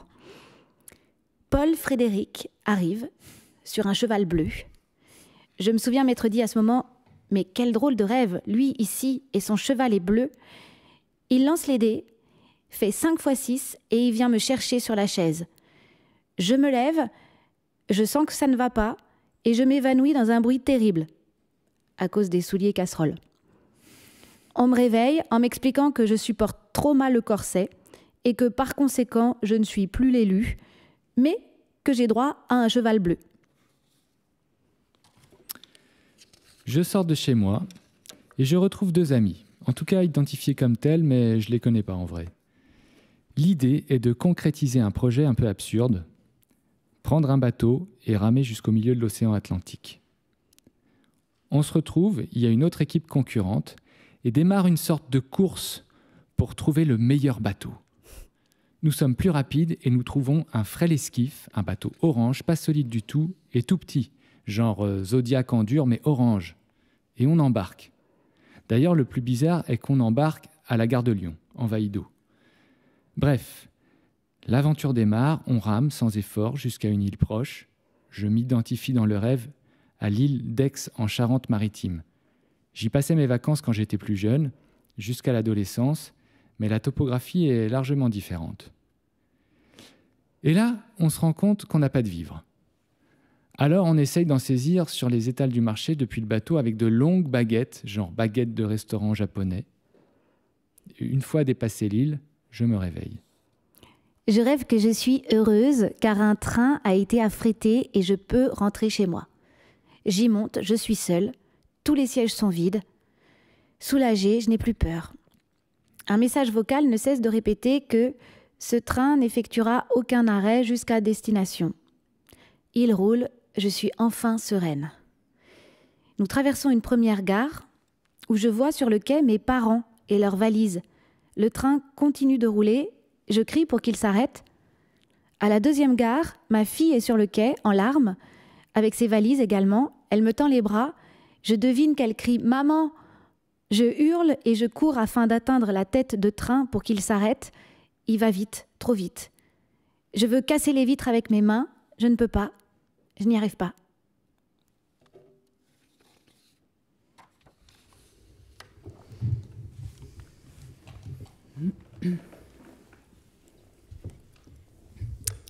Bien, merci beaucoup pour ces lectures. Effectivement, c'est vrai que c'est assez impressionnant de les entendre, hein, ces, textes. Ça change tout. Oui. Euh, voilà, bah, merci Jérémy Chaponneau, merci Frédéric Ramirez, merci toute l'équipe. On s'est rencontrés un peu, c'était sympa en tout cas d'être ensemble. Euh, donc euh, voilà, alors moi, ce que, ce que je, ce que je, alors je vais commencer par vous, parler un peu de, Freud. on sait que, on connaît son, intérêt, hein, bien sûr, qu'il a porté au rêve, qu'il qualifiait de voie royale qui mène à l'inconscient. Euh, Hervé, tu as évoqué ce qui était à l'origine de cette collecte, c'est-à-dire ce, désir de saisir un peu comment résonne euh, la période pour quelques-uns, mais aussi d'entendre les, les, imaginaires collectifs auxquels elle renvoie. Euh, alors, c'est vrai que moi j'avais entendu parler aussi d'une collecte qui, de rêve qui s'était fait au, Brésil, euh, euh, mais, mais, qui avait commencé avec l'arrivée de Bolsonaro au pouvoir et puis le fait que les analystes sont, descendus pour s'installer dans la rue, un peu pour donner la parole aux, personnes bâillonnées, disons, d'une autre manière. Voilà. Donc c'était aussi une des, raisons qui avait motivé ce, cette proposition que j'avais fait à Hervé, mais c'est vrai que euh, au départ, en tant qu'analyste, je, euh, je me suis un peu posé des questions parce que, effectivement, de, ma place, au regard de la psychanalyse, comme les récits de rêve ne sont interprétables que dans le cadre de la cure, je, voilà, j'ai fait face un peu à mes, à mes propres résistances, à y travailler autrement, même si Freud, on le sait, hein, en son temps, a pris lui-même quelques libertés au regard de ce point fondamental de la technique, mais ça, euh, c'est une autre histoire qu'on peut lire. Alors, au travers, tu parlais du travail de Jacqueline Carrois, d'Andrea Meyers, et puis aussi d'un analyste qui s'appelle Prado de Oliveira, qui a, a beaucoup travaillé aussi à la question de l'histoire de, la psychanalyse et des, analystes entre eux. Euh, voilà, mais alors au fond, il n'y a pas d'extériorité à la situation actuelle de cette pandémie, et c'est bien cela qui, finalement me, me fait penser que c'est justement un moment tout à fait analytique, en ce sens que l'inconscient ne s'écrit pas en dehors de l'histoire, de la même manière que l'analyste ne se tient pas en dehors de la cure, elle-même en partie prise dans le temps qu'il fait. Cette recherche questionne au fond la manière dont se fabrique l'histoire, la manière dont elle se raconte, se transmet, la manière dont elle s'inscrit, s'écrit, se traduit, et comment, ou plutôt combien, peut-être, s'enchevêtre l'histoire du sujet au social, au culturel et à l'historique. Alors, bien évidemment, Hervé, c'est ce que tu nous rappelais, hein, on, est un peu au début d'une collaboration, donc déjà, on va apprendre à, se parler un peu. Et puis, on sait bien que le temps politique, le temps social, le temps psychique, bon voilà, ça, ce sont des temps un peu différents. Donc, euh, la, tâche est immense. Et puis, pour ça, il faudrait composer une méthodologie euh, qui reste à, construire. Voilà. En tout cas, ce qu'on espère, c'est que cette réflexion de marge, euh, permettra à la fois d'être un témoignage, une archive. Tu, disais, c'est vrai que c'est précieux quand on vous entend euh, les lire, c'est intense. Euh, voilà, et on espère que, ça permettra de questionner en tout cas certaines de nos convictions, de nos présupposés dans, nos disciplines, et que ça permettra de faire retour sur nos théories et nos pratiques, mais pas tout à fait au même endroit. C'est tout l'enjeu du laboratoire de psychanalyse nomade que nous montons avec Hervé et quelques collègues amis. Car au-delà de cette cueillette de rêves, il s'agit bien de restaurer le dialogue entre la psychanalyse et les sciences sociales pour réfléchir à ce qui s'inscrit dans la vie psychique de ce que traverse le collectif au fil des époques, mais aussi de la manière dont la théorie analytique et ses usages s'en trouvent eux-mêmes transformés au fil du temps. Bon, alors, parlons maintenant de la collecte. En complément de ce que tu nous as présenté, Hervé, je dirais que ces récits de rêve font suite à notre demande et que ce point n'est pas anodin, bien sûr. Ils sont, on le voit très bien dans les lettres qui accompagnent ces récits, déjà pris dans une adresse, dans un transfert. Et on pourrait d'ailleurs tout à fait travailler déjà à saisir les perspectives dans lesquelles s'inscrivent ces, échanges, puisque les personnes nous demandent en effet des, conseils, euh, de percer le sens de leurs rêves. Euh, ils évoquent leurs analyses passées, en cours, euh, leurs points de butée, bon, leurs angoisses nocturnes, leurs insomnies, leurs réflexions politiques. Ils nous font part de leurs inquiétudes sur l'avenir, etc., etc. C'est déjà extrêmement, euh, extrêmement conséquent. Hein. On pourrait déjà s'arrêter là, faire un premier arrêt, si le train peut s'arrêter tout ça témoigne quand même d'un fort intérêt, à mon sens, hein, que portent les, gens aujourd'hui pour leur vie psychique. Alors, tu, disais cette fascination pour le rêve. Oui, c'est ça, cet, autre nous-mêmes. Euh, voilà, alors un autre point important que tu as rappelé aussi, Hervé, que si beaucoup de rêveurs apportent des associations d'idées liées à la pandémie, euh, pour d'autres, euh, c'est les rêves qu'ils nous livrent plutôt des, moments clés de leur existence qui sont peut-être relancés par, cette période de suspension. Je ne sais pas, c'est une hypothèse. En tout cas, tout à fait sans écho avec la, période actuelle. Euh, on en parlait tout à l'heure avec nos lecteurs. C'est important aussi peut-être d'expliquer que la lecture de ces matériaux à l'écrit n'a pas été aisée. Hein. On s'est dit avec Hervé et, puis avec euh, Céline et Cédric que ça, suscitait pas mal de résistance, que c'est comme une matière un peu molle, un peu, je sais pas, et que le fait de, la parler, ça, redéploie un peu, ça, lui redonne de, l'ampleur. Euh, euh, voilà, donc peut-être on, pourrait, euh, voilà. Enfin, en tout cas, c'était c'était pas simple quand même d'avoir à faire, à la fois d'avoir le sentiment d'entrer aussi dans l'intimité des gens. Bon, je sais pas, c'était particulier. Hum. voilà, donc comment travaille l'imaginaire de chacun? Est-ce que le rêve se présente comme un contre-investissement de la réalité, un sommeil dans le sommeil? Est-ce une, tentative plutôt de s'approprier quelque chose de la période qu'on vit? Pour quelle transformation Quel scénario Quel paysage? Voilà un petit peu les, questions qui ont guidé euh, notre premier travail. Suite à ce travail de repérage de thématiques euh, qui reviennent souvent, euh, c'est-à-dire qu'en fait, on a, on a Attendez, ça y est. Euh, en fait, on a, on a, quand même eu un, espèce de parti pris, hein, on peut dire ça, euh, de, de, mettre ces, rêves un peu en lien entre le passé, le présent, enfin le présent, et puis une tension entre le passé et l'avenir. Voilà, ça c'est un peu le parti pris qu'on a choisi hein, pour la première euh, analyse. Donc ça, ça, laisse de côté des tas de, rêves, puisqu'on a quand même était plutôt du côté de ce qui faisait répétition, de ce qui revenait un peu dans, les scénarios. Alors, on a euh, intitulé notre collecte Entrave du présent, mémoire de la catastrophe et brèche dans l'avenir. Voilà, c'est un peu comme ça qu'on a partitionné euh, notre lecture. Donc, si on entre dans ce que nous ont livré les récits, euh, concernant les entraves du présent, une première tonalité tourne autour, évidemment, de la question de la contamination. Dans les rêves du printemps 2020, on touche la mort. Tout d'abord, on la touche du doigt et on cherche à l'éviter par les gestes barrières. On a peur d'être contaminé, etc. Hervé, toi, tu as beaucoup travaillé sur cette question de l'interdit du, toucher. Jérémy le, rappelait tout à l'heure, et de la question de l'autocontrainte. Voilà, ce qui frappe dans ce matériau onirique, c'est la fréquence des références historiques à d'autres grandes pandémies du passé, aux pestes d'autrefois notamment. Une jeune femme, par exemple, nous fait part d'un rêve à forte connotation historique, duquel elle se réveilla bouleversée après avoir découvert un nid de rat dans sa main. D'autres rêves touchent à la question de la contamination sexuelle et peuvent évoquer un après-coup des années sida. On se souvient à l'apparition de cette maladie encore mal connue de la peur du contact et des questionnements sur la transmission par les baisers, euh, etc.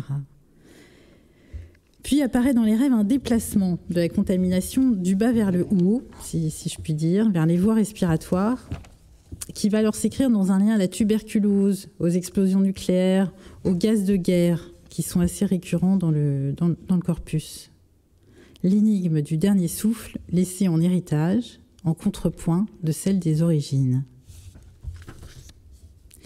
On peut penser que ces récits de contamination sont un écho de la situation elle-même, qui nous a envahis sur beaucoup de plans, bien sûr, social, psychique notamment, avec les effets que l'on commence à mesurer aujourd'hui de crise d'angoisse, de perte de sens, de décrochage scolaire, d'état dépressif, etc., qui sont déjà présents dans les rêves de mars et avril 2020. Ce qui est frappant, c'est que les récits de rêves renvoient très souvent à la vision d'un individualisme de masse, sans altérité, sans sujet et sans transmission, justement. Un individualisme de masse pour un soin de masse et une mort de masse, avec l'effacement de l'identité, sa dilution, là, dans l'absence d'altérité, d'échange, de consistance de l'autre. Alors, je reprends ici un, tout petit rêve que vous nous avez lu tout à l'heure. J'ai rêvé d'un tunnel très très très long, à moitié obscur, avec des ouvertures au plafond tous les 5 mètres environ, où l'on pouvait voir des étoiles extrêmement brillantes la nuit et un ciel extrêmement bleu le jour. On était nombreux à marcher dans ce tunnel interminable. Beaucoup de gens tombaient au sol, ne pouvant plus avancer. Certains les ignoraient, d'autres les soignaient et les soignaient, d'autres encore les piétinaient. C'était très oppressant, révoltant, stressant, écœurant. Les nausées abondaient. Ma seule issue était le rêve ou la mort. Cette désertification du lien social se prolonge dans d'autres figurations des rêves qui posent à leur manière cette question fondamentale des liens de première nécessité, des liens entre le besoin et le désir. Qu'en est-il justement de cette adresse à l'autre, de nos investissements psychiques et affectifs? Le remède à l'évidence ne peut pas se résumer aux indispensables gestes barrières. De quoi ai-je vraiment besoin pour vivre? De produits, fussent-ils de première nécessité? Ou de ces contacts avec autrui. On repère en effet de manière récurrente dans les récits un déplacement du soin et des gestes d'hygiène vers le carcéral, voire l'extermination. Les lieux du soin se transforment parfois en lieux hybrides, sorte d'asile, prison, sanatorium, ou bien de ce qui s'apparente à des douches, chambres à gaz, faisant surgir dans ces collisions la trace d'autres moments historiques, suggérés en partie peut-être par ces hôpitaux de campagne montés par l'armée dans l'urgence de la situation du printemps 2020. De nombreux rêves renvoient à la pratique autoritaire d'une médecine du nombre et du chiffre, accentuant l'anonymat et la négation de ce qui fonde la subjectivité. Science toute puissante qui retentit comme une extermination de masse, tout cela pouvant faire penser à d'autres moments de crise, comme l'affaire du sang contaminé, les cancers liés à l'amiante. J'entendais que là récemment, il y a aussi un procès qui commence autour de prothèses mammaires défectueuses, ou certains médicaments mortels qui peut-être courent de manière sous-jacente au discours, alimentant aujourd'hui les réticences que l'on connaît face au vaccin. Cela m'évoque une expérience menée par Spitz dans les années 30, un psychanalyste, hein, Spitz, euh, dans les pouponnières de prison où étaient placés les enfants de femmes incarcérées. Les besoins des nouveau-nés, séparés de leur mère, y étaient satisfaits, mais se retrouvaient privés de contacts chaleureux, de marques d'affection, de paroles tendres. Et Spitz a observé que ces enfants passaient d'un premier état de tristesse à un état dépressif qui menait à une indifférence affective accompagnée de troubles du développement psychomoteur, certains allant hein, jusqu'à se laisser mourir, faute d'attention et pas de soins. On a appelé cette maladie l'hospitalisme, un signifiant qui n'est pas tout à fait neutre, et il me semble que c'est une dimension très importante de la période que nous vivons qui se retrouve dès les premiers rêves, l'attention à l'autre, le contact avec l'autre, de véritables liens de première nécessité. Si cette maladie de la séparation liée aux carences des institutions, à l'indifférence et au mutisme d'un autre avec lequel on n'a pas de lien d'attachement, a amené un changement radical dans la prise en charge des bébés, on voit que le médical et le carcéral sont deux champs qui se chevauchent tout au long de la collecte et que l'on retrouve dans les préoccupations de nos concitoyens. Ainsi, dans le journal Le Monde, un article en date du 16 mai 2021 est intitulé Des collectifs de familles dénoncent les EHPAD prisons. Ces lieux sans issue, caractérisant les interdits qui ont frappé la période, comme le souligne Hervé dans notre entretien avec Jacqueline Carrois, et qui s'illustrent, comme pour cette jeune femme, étudiante en psychologie, dans un rêve d'une particulière intensité, dans lequel elle s'épuise à tenter de retrouver son appartement aux prises avec une ville dont les couloirs interminables la font tourner en rond. On voit ici les rêves devancer un précipité de réalité alors, concernant la mémoire de la catastrophe, c'est-à-dire au-delà de ce, présent éternel, au fond, voilà, ce, à quoi dans le passé, les rêves renvoient en tout cas ce qui est assez récurrent dans la collecte, ça tourne autour évidemment de la question de la mort. Alors, il y a la mort et il y a nos morts. Alors, je vais vous lire ce petit rêve. À la table, il y a Papy qui est mort. On l'a assis là, il a les yeux fermés. Je suis triste, aussi je pleure. Philippe parle d'un film dans lequel un enfant va jouer et Papy ouvre les yeux et raconte tranquillement que ce n'est pas un endroit pour les enfants le cinéma. Lui, quand il était petit, il avait joué dans Citizen Kane et il avait été maltraité. Cette première période de la pandémie a été marquée par le décompte des décès que l'on oublie aujourd'hui, qui s'est banalisé. Dans les récits, nos proches déjà disparus préparent leur départ, signent leurs derniers adieux ou mettent des mots sur leur absence. Beaucoup de vêtements de deuil, de repas dominicaux, de cimetières, beaucoup d'évocations de rituels, de cérémonies qui accompagnent la parole des défunts et viennent ainsi border la mort. Et d'ailleurs, dans la réalité de ma pratique, le temps de ce premier confinement fut aussi un moment où beaucoup de choses sont revenues en mémoire des analysants, des retours du refoulé comme des pensées intenses pour des figures aimées et disparues. Peut-être que la suspension de notre vie sociale avec le confinement a produit une sorte d'après-coup et de l'inscription ou de la réinscription par petites touches de moments de son histoire, de traces, posant la question d'une certaine transmission qui, elle, ne serait pas mortelle.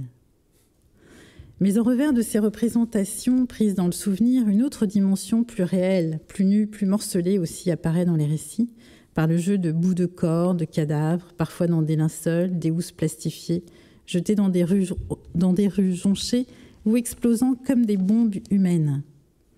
Les frontières de la vie et de la mort se brouillent, et les anonymes entassés, morts et vifs à la fois, ouvrent parfois les ouvrent parfois les yeux, suscitant l'effroi dans le contexte d'une épidémie où pendant un temps les mourants n'ont pas eu l'occasion d'être accompagnés pour ce dernier acte. C'est un rendez-vous manqué qui peut-être ne finit pas de ne pas s'écrire car on touche ici à une question fondamentale de la civilisation. Quel rituel pour nos morts, pour border ce trou-là? L'absence de cérémonie, vécue peut-être comme un équivalent à l'absence de sépulture, renvoie dans les constructions oniriques de nos rêveurs à la question des charniers et à la mémoire collective de la guerre. La guerre, en effet, est une référence au passé omniprésente, un champ sémantique qui domine le corpus. Mais c'est essentiellement la Seconde Guerre mondiale qui est représentée, en partie suggérée par le discours du président de la République du 16 mars 2020, ce c'est la guerre, ce signifiant qui était d'ailleurs déjà employé en 2015 au moment des attentats parisiens, lui-même en écho à l'effondrement des Twin Towers en 2001, qui avait déclenché en riposte une guerre en effet, en Irak. Mais ce sont plutôt les références à la Seconde Guerre mondiale qui se trouvent dans de nombreux récits comme une tentative de donner du sens et d'inscrire le réel de cette période dans un passé connu de tous, dans une généalogie historique du malheur du monde. À ce détail près que nous aurons à interroger, euh, que ces récits se réfèrent à une période que nos rêveurs n'ont pas connue, hein. S'inscrivant ici peut-être comme le temps d'eux du trauma pour des générations qui ont vécu sans la vivre cette Deuxième Guerre mondiale. Et d'ailleurs, on peut se poser la question, sommes-nous en guerre? Nombreux ont un avis sur ce point, des avis souvent très divergents. Au-delà de l'emploi de ce vocabulaire par nos politiques dans les médias, il sera intéressant que l'on essaie de saisir pourquoi, en tout cas dans notre collecte, hein, euh, on vient de manière assez massive inscrire la pandémie dans ce discours de champs de bataille, de mines, de bombardements, de disparitions, d'enlèvements, dans lesquels la figure du soldat revient, surtout russe et allemand, euh, voilà, où on retrouve un imaginaire lié à l'occupation. ça, c'est un, terme qui m'a beaucoup intéressé, ce terme d'occupation. Euh, et puis les foules et des trains. Une représentation du train, en effet, surdéterminée, prise dans une chaîne signifiante renvoyant à des destinations parfois tragiques, dont la médiatisation des trains médicalisés pendant le pic de l'épidémie de 2020 a peut-être influencé la reviviscence. De nombreux rêveurs nous livrent en effet ce que le travail du rêve a produit de scénarios de l'occupation, un imaginaire des convois de la mort, mais aussi de l'exode, de, de, la zone libre. Certains se retrouvent embarqués dans les trains qui n'arriveront pas à destination, dont ils se voient obligés de descendre. Dans la panique, les bagages disparaissent, quelque chose se perd de ce qui fait notre histoire, notre vie diaphane se disperse aux quatre vents, sans laisser de traces. Et insistant le sentiment de ne pas savoir où l'on va, l'impuissance face à ceux que l'on laisse derrière soi, ici encore sans mots, sans promesse de retrouvailles. Mais ces trains sont également la ligne de fuite, l'espoir d'une vie possible ailleurs, la traversée de paysages amis. Et on peut se demander si l'occupation, en tant qu'occupation des lieux, en tant qu'occupation de nos vies, de notre corps, de nos habitudes, si cette occupation-là ne serait pas finalement ce qui nous a fait défaut. Une autre métonymie remarquable, euh, qui renvoie elle aussi à la question de l'occupation et celle de la transformation de la pièce d'identité ou du ticket de train en carnet de notes ou en journal intime. Devant l'injonction du policier ou du contrôleur à les fournir, devant ce poète vos papiers, les tickets papier de soie, feuillets de soie, échappent, se mélangent, se perdent. Il s'ensuit donc bien sûr une difficulté à justifier auprès des autorités ce que l'on fait là. Il s'agit de retrouver la page perdue, se refouler et d'y mettre bon ordre. Tout cela pris dans un sentiment de honte et de culpabilité. Ces images, apparues dans les premières semaines du confinement, font écho bien sûr à l'attestation à fournir pour justifier nos sorties. On touche là un flagrant délit de désirer au temps du coronavirus. faire la preuve que l'on n'est pas hors la loi, légitimer son désir d'être dehors, de vivre, tout simplement. L'on sait avec Freud que l'intensité du symptôme et du retour de la pulsion est le corollaire de la férocité de la censure du surmoi, et de ce point de vue, la réclusion est une dimension très préoccupante de cette période. Mais dans ces représentations d'une mémoire de la catastrophe surgissent aussi des échappées belles. Nous l'avons vu notamment avec la double valence du train, avec cet irréductible qui se dérobe à l'injonction, par tout ce qui est figuré également dans ces récits d'invention, de possible, de brèche dans l'avenir. La trace de ce retrait libidinal des investissements sociaux fait retour sur le rêveur, alimentant son auto-érotisme. Et ce plaisir de rêver, de scènes de banquets, d'orgies, de fêtes à l'envergure conjuratoire, nettoyé de la contrainte sociale dans un contre-investissement psychique de la période actuelle, est bien présent également. Cette satisfaction hallucinatoire de désirs refoulés. Et les rêves érotiques apparus dès le début du confinement vont voir leur scénario évoluer, car la promesse de retrouvailles tardant à venir dans le contexte d'un isolement généralisé marque l'évolution des rêves. Madame V, 49 ans, se trouve avec un inconnu dans un taxi. Assis tous deux sur la banquette arrière, l'homme la frôle sans qu'elle distingue l'intentionnalité peut-être érotique de son geste. Ce récit va annoncer un virage dans le contenu manifeste des rêves, car peu à peu le choix d'objets sexuels de nos rêveurs se resserre sur le voisinage. Un membre de la famille par alliance, le conjoint d'un proche avec qui l'on est confiné, une voisine. Nos rêveurs ont d'ailleurs curieusement besoin de nous préciser ne pas avoir d'attirance pour ces personnes dans la réalité mais nous n'entrerons pas dans cette dimension-là. L'érotisation évanouie de la vie sociale ressurgit là, surinvestie peut-être sur un mode un peu maniaque au début du confinement. Alors, Hervé, dans ces brèches dans l'avenir, tu évoques un désir de communion. Je te cite affleure avec netteté la souffrance induite par la désensualisation ou désérotisation de notre vie sociale. Alors tu cites un artiste, euh, d'une cinquantaine d'années, écris-tu, originaire d'une ville moyenne de l'Ouest, qui explique Mes rêves se peuplent de réunions où l'on mange ensemble, où l'on danse, où l'on se touche. La frustration déborde de mon inconscient. Beaucoup rêvent, écris-tu, tour à tour de dîners entre vieux amis, d'errances de bar en bar, mais aussi de foires, de carnaval ou de concerts géants. L'un s'imagine avec joie dans une immense AG communiste, un autre organise un grand festival culturel pour faire quelque chose qui a du sens. Et tous ainsi, pour ne pas mourir de solitude et d'ennui, de s'imaginer retrouver un surcroît de liberté en brisant l'enclosure et l'assignation à résidence. Pour affronter le soliloque de la claustration au long cours, reste le régime nocturne de l'imaginaire et le retour urgent aux vibrations de l'être ensemble, et tu conclus, peut-être parce que c'est justement par la circulation de l'affect, par le partage des émotions, qu'une communauté continue d'exister et l'individu avec elle. À cette question de la métaphore de l'usage des corps font suite les métamorphoses de lieux qui peuplent davantage notre corpus dans les dernières semaines de cette assignation effectivement à résidence. Rêver le monde, lieu composite dans des rêves de monde en pleine transformation, habitat bricolé, train roulotte, balcon cabane, intérieur retroussé en dehors ou bien l'inverse. L'escalier mène à l'étage dans un jardin ou sur une rue qui est parfois meublée, agencée comme un intérieur, etc. Dans le même temps, des villes entières sont envahies par la nature. On retrouve également tremblements de terre et montée des eaux dans une, dans une très intéressante référence à Noé et son arche. C'est une autre manière d'inscrire la, période dans une chaîne signifiante, celle de la catastrophe naturelle, mais aussi du paradis perdu à venir. Car en effet, dans cette période inédite d'un éternel présent et de son revers qui est le non-lieu, comment ne pas se loger dans l'attente du retour à un temps qui n'a jamais existé, d'un lieu mythique?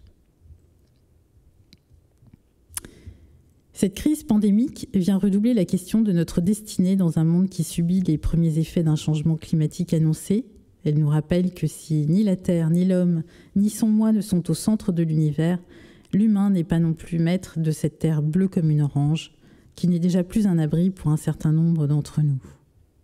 Mais ces cataclysmes et les paysages qu'offre ce monde déchiré font ouverture, terrain de jeu propice à produire des formes, des potentialités, des hétérotopies.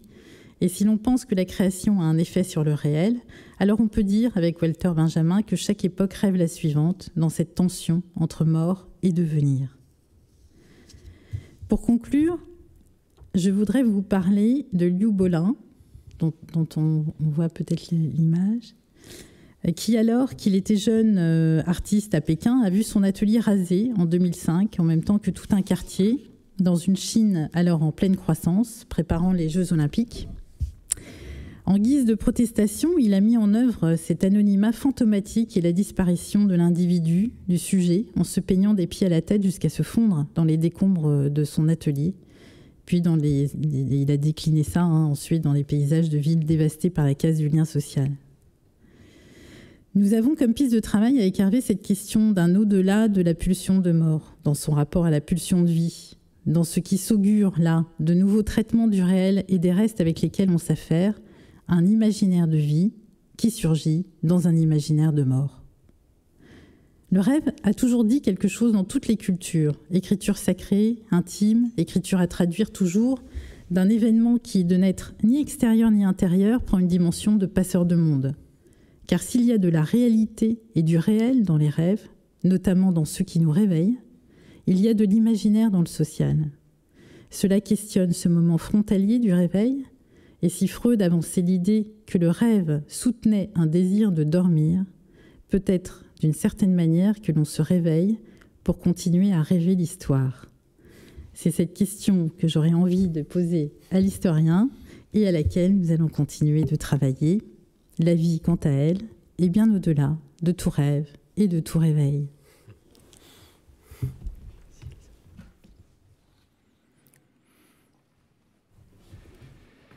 J'ai rêvé de deux perruches au plumage chatoyant qui étaient chacune enfermées dans une chrysalide. Les cocons très transparents dans un premier temps s'opacifiaient lentement alors que les perruches chantaient et semblaient ne se rendre compte de rien. Il me semble que je me questionnais sur le fait d'agir ou non pour leur venir en aide avec mon jeune fils à mes côtés. Je suis dans une maison avec deux belles filles. La plus jeune est blonde, et bien qu'elle ne soit pas trop mon type, je la trouve de plus en plus belle à mesure que nous restons ensemble dans la maison. Elle irradie et semble remplie de désir. Je réalise peu à peu que je suis l'objet de cette effervescence qui la gagne. Elle est dingue de moi, c'est incroyable.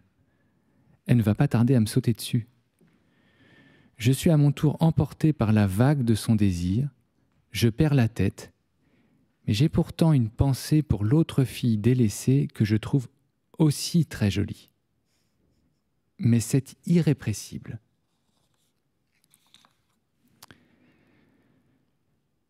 Je suis en répétition dans une salle de théâtre vide.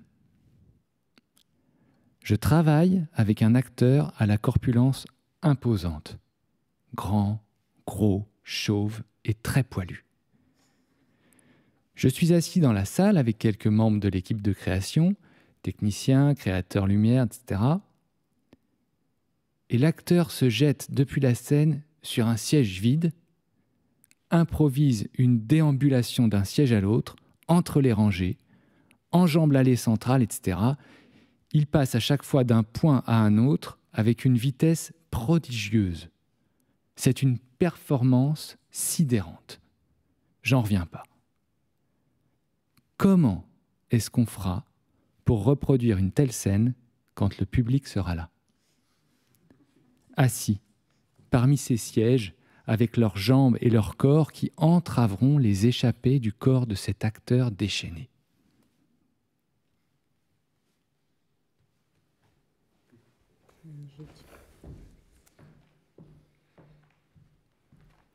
Voilà, bien, je vous remercie pour ces conférences très intéressantes et ces remarquables lectures. Nous nous retrouvons dans à peu près un quart d'heure pour la deuxième partie de cet après-midi consacrée aux rêves de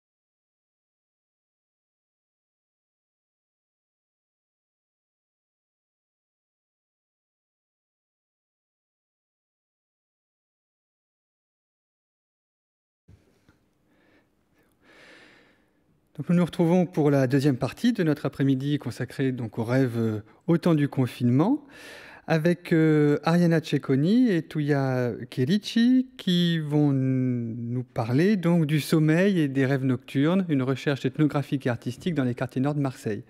Je vais juste vous présenter avant. Donc Ariana euh, Cecconi, vous êtes maîtresse de conférences associée en anthropologie à l'École nationale supérieure d'architecture de Marseille. Euh, depuis mai 2004, vos travaux portent sur les rêves et le sommeil que vous abordez de façon interdisciplinaire entre anthropologie, neurosciences et expression artistique dans le cadre de recherches ethnographiques euh, menées sur plusieurs terrains, euh, en Italie, en Espagne, au Pérou et en France à Marseille.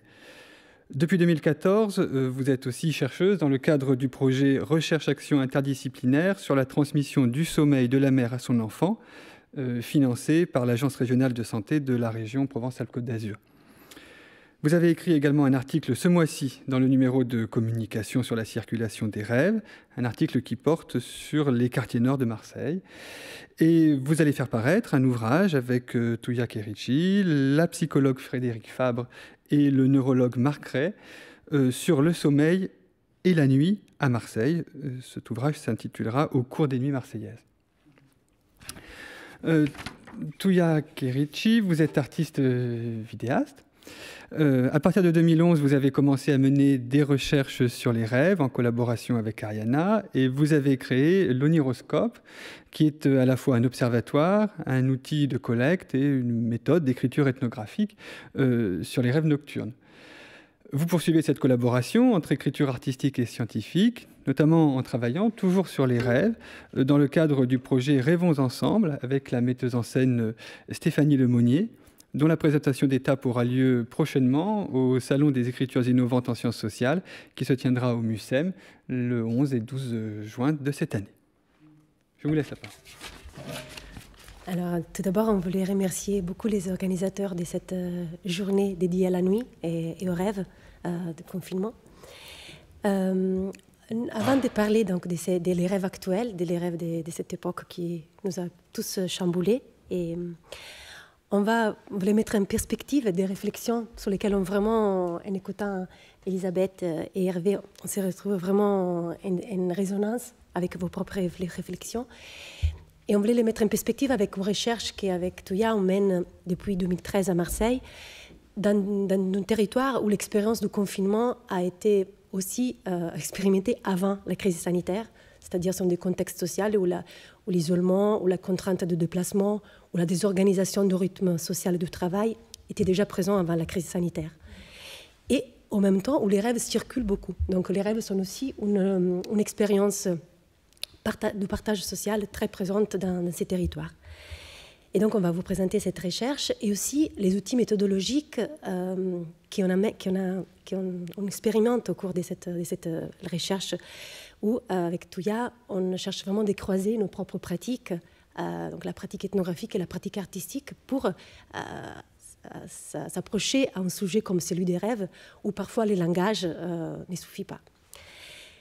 moi, j'ai commencé à travailler sur les rêves dans une société, celle péruvienne, dans les Andes, où on dit que les rêves viennent du dehors. À la fois, elles sont conçues comme des visites des âmes, des morts, des divinités, mais aussi cette expression les rêves viennent du dehors parle, évoque euh, ce constat qu'aujourd'hui sur lequel on est nous-mêmes très concernés du fait que les rêves se fabriquent aussi à partir de notre vécu social, de ce qu'est notre époque. Et donc les rêves sont fabriqués à la fois par notre intériorité, mais aussi avec cet extérieur qui nous fabrique. Et donc la, frontière même entre les soi et l'extérieur, comme on a vu, est bousculée tout le temps par notre, dans notre vécu. Donc dans cette société, les rêves sont partagés, ils, influencent la vie sociale. Et en même temps, c'est grâce aux rêves que j'ai pu m'approcher à un événement comme celui de la guerre civile entre les années, dans les années 80-90 qui a touché beaucoup les, les, les, les Pérou. Et donc, j'ai pu voir comment les rêves, justement, dans, une époque comme celle de la guerre, deviennent des sismographes et reprenant l'expression de Charlotte Bérard. Mais depuis 2008, j'ai décidé de poursuivre mes recherches en Europe, d'abord en Espagne, en Italie et actuellement en France, à Marseille, pour voir aussi dans une société où officiellement les rêves n'ont pas une place dans la vie sociale, euh, donc sont plutôt une porte d'accès à l'individu, comment comment les gens, dans leur vie quotidienne, ils se relationnent à leurs rêves. Donc, c'est quoi la relation qu'ils entraînent avec les rêves? Tout, euh, tout en travaillant donc, sur, ces, questions du rêve comme une porte d'accès à la vie sociale, je m'intéresse beaucoup à la question méthodologique parce que si la méthodologie propre de l'anthropologie est l'observation participante, eh bien les rêves, ça, ça devient l'impossibilité même d'une méthodologie ethnographique. Et donc avec Touya, euh, justement, on a cherché des manières de, de donner autre langage aussi aux rêves. Et donc, euh, c'est une amitié qui nous lie depuis 20 ans, s'est transformée aussi en une collaboration euh, depuis 2010 qui nous a mené aussi à créer des outils d'enquête communes. Oui, bonjour euh, à tous. Euh, oui, donc euh, je suis, je précise, je suis plutôt artiste multidisciplinaire, c'est-à-dire que je travaille avec le dessin, la sculpture, l'assemblage d'objets, le collage et, euh, et toutes les activités, disons, de, production qui sont liées à, la fabrication d'un cinéma fait à la main avec euh, des techniques euh, d'animation euh, très artisanales. Euh, issues de, la tradition du cinéma image par image, de la réalisation du cinéma stop motion ou image par image, j'ai commencé à développer une technique de faire cinéma à la présence du public, et ça depuis 2003-2004. Euh, et tout en improvisant avec euh, différents matériaux à la fois, euh, des, autoconstructions, de, petites euh, miniatures, scénographie, euh, découpage des photos, mais aussi graines li liquides. Et manipulant, je projette en temps réel ce qui, se passe dans, mon petit set.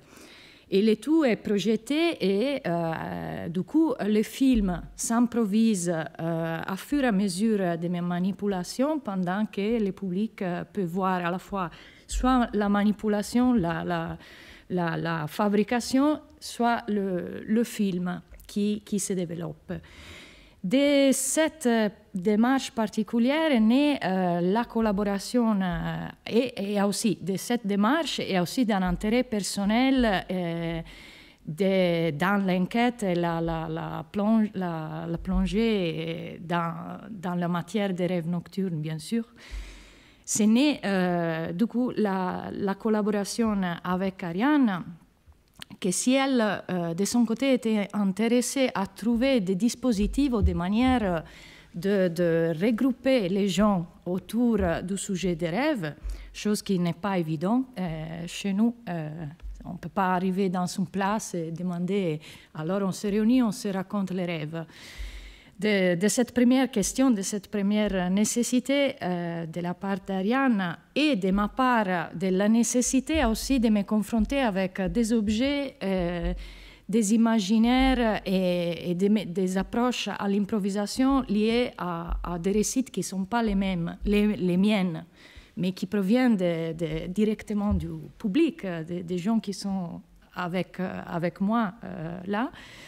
C'est l'idée de l'oniroscope, que c'est un dispositif, de, ça c'est une expérience participative euh, où on invite euh, le public à venir, euh, chacun avec un rêve à raconter, qui souhaite euh, partager avec euh, le public, et un objet, un objet, un petit objet, qui soit complètement,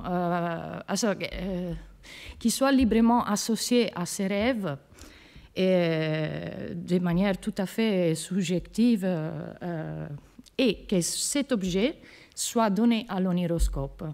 Du coup, moi, euh, pendant que la personne, les personnes au public euh, dans la salle racontent, moi, j'improvise une, une, une, histoire euh, visuelle avec l'objet en, en, lien avec ces récits qui se, qui se déroulent en temps réel. Et cette démarche euh, amène les personnes à raconter leurs rêves d'une manière très particulière, en se plongeant dans les détails, dans, dans, aussi dans tous des, aspects du rêve qui normalement dans, dans, les discours, quand on le raconte comme ça, ne, ne sort pas. Et, et tout d'autres aspects dont on va parler après. Là, je vous présente un petit extrait d'un vidéodocumentaire qui a été fait par euh, Boris Bayard et Thomas Weber, euh, à l'époque étudiante de l'école Satis d'Aubagne, euh, sur notre démarche. Du coup, c'est un des rares documents où finalement le dispositif se voit de l'extérieur. Et euh, c'était à Marseille en 2013 avec euh, des, membres de la maison kurde. Et ça, c'est juste pour vous faire voir un peu de quoi, comment ça marche. Euh, voilà. Et après, on discutera. Voilà. Ok, je te donne mes objets. Ah, ah déjà C'est ça ou la cigarette C'est la cigarette hein? ouais, les deux. Les verres Du thé et cigarette. Ah, oui. Normalement, il y a du thé dedans, mais comment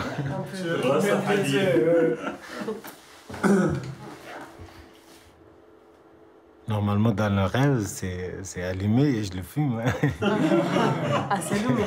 Ah, Et comment comment c'est les rêves Dans le rêve, je suis pas si jeune, je suis euh, à mon âge de 25, 24 ans, parce que à cette époque-là, j'étais à, l'université. Et puis je fume. Je suis assis ben, sur, un, sur un grand pierre, sur un roc. Puis euh, il y a du soleil. Il y a hmm, les plats classiques de mon pays. D'un coup, l'air se change. Hmm, je vois le, le bombardement de, de l'armée. Et quand tu, entends, quand tu vois les bombardements, tu, tu, les vois en bas. Tu vois les bombardements dans les villages. Euh, et je, je sais bien qu'il y a il y a des camps de, nos guerriers dans, dans les arbres. Et puis, d'un coup, euh, je suis plus là, euh, je suis à l'université. Après, tout le monde habillé hum, comme la couleur de, des flics, de, de la police. Je ne sais pas. Et toujours, ça te fait peur. Disons, dans les rêves, tous les fois que tu rêves des flics, ça te ouais. dans la peur. Je peur pas de eux, en fait. Je peur d'être attrapé par, par les flics parce que je connais plusieurs choses. Euh, je participais à ce mouvement à, l'université plutôt. Je faisais plusieurs choses à lycée aussi, mais euh, à l'université c'était un peu différent. On est, on est des militants. Uh-huh. C'est pour moi, c'est toujours comme il est vivante. Et depuis, c'était longtemps que je suis quitté de chez moi pour faire de mes études. J'étais toujours loin de faire ma famille, et donc je pas de vœux souvent. Un peu ça. Je pense pour ça que dans mes rêves que je, je me, je me, je me, je rêve. Parfois, je me raconte que je suis avec mon père. Donc tu rêves ton père Oui, quand je rêve de mon père, il était toujours très jeune. Chaque fois quand je rentrais, j'ai le vu que le corps commence physiquement à changer, de, devient vieilli. Donc si on peut pas, euh, si impossible l'observation participante, dans le cas de l'oniroscope, euh, j'aime parler d'une imagination participante. Le langage artistique devient un outil non pas pour représenter le plus, le plus réellement possible les rêves, ce qui est impossible, mais plutôt pour se confronter concrètement sur des images et collectivement. Donc toutes les personnes peuvent poser des questions sous les images même de la matière manifeste du rêve. Et, en tant qu'anthropologue et, et artiste, on ne s'agit pas pour nous de l'interpréter, mais plutôt de travailler vraiment sous cette texture de l'imaginaire qui peut être partagé collectivement.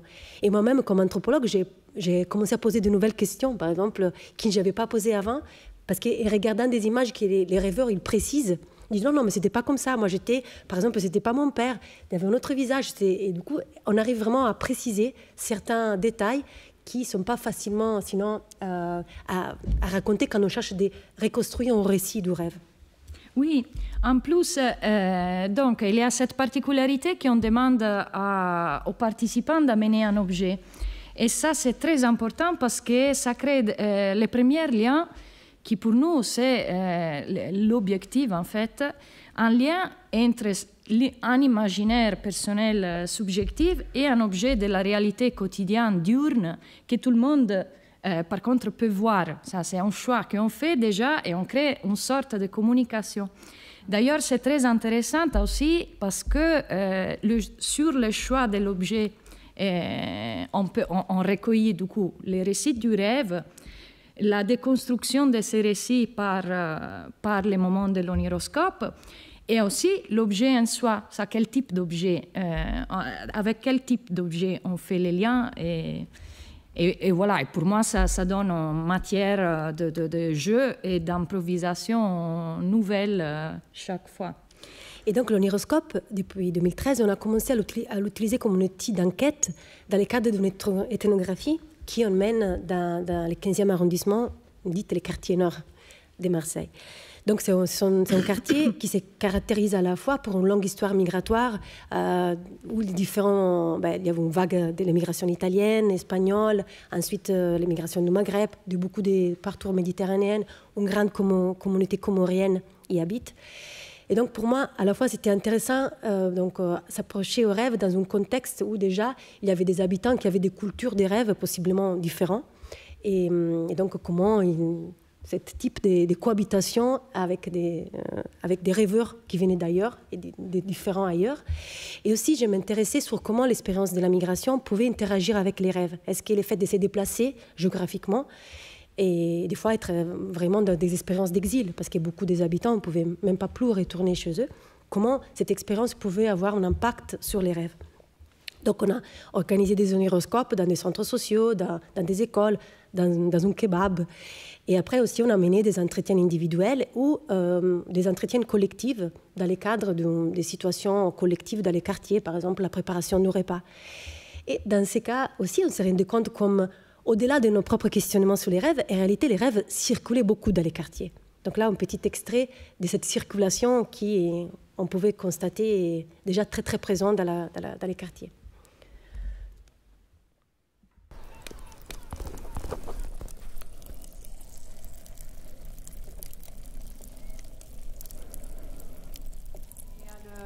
montre tous les jeudis à la télévision. Un monsieur, il, il t'explique, interprète, explique la rêve. Ça, ah veut dire que les gens, il appellent téléphone, il dit voilà, moi j'ai rêvé ça, j'ai rêvé ça. Lui, dit ben, c'est bon signe ou mauvais signe. Voilà. Voilà, tu vas divorcer, tu vas se marier, moi, tu vas. Moi, je l'interprète comme ça parce que justement, avant, je m'intéressais beaucoup à l'interprétation des rêves. Ah moi aussi, j'aime ça, je voulais. Moi aussi, euh, le, tarot de Marseille. Ah oui. Voilà, c'était euh, quand j'étais jeune fille, donc j'ai appris. J'ai appris. donc voilà. Est-ce qu'il y a des livres, par exemple, euh, en Algérie liés à l'interprétation? Non, même ici. Maintenant, ils le font.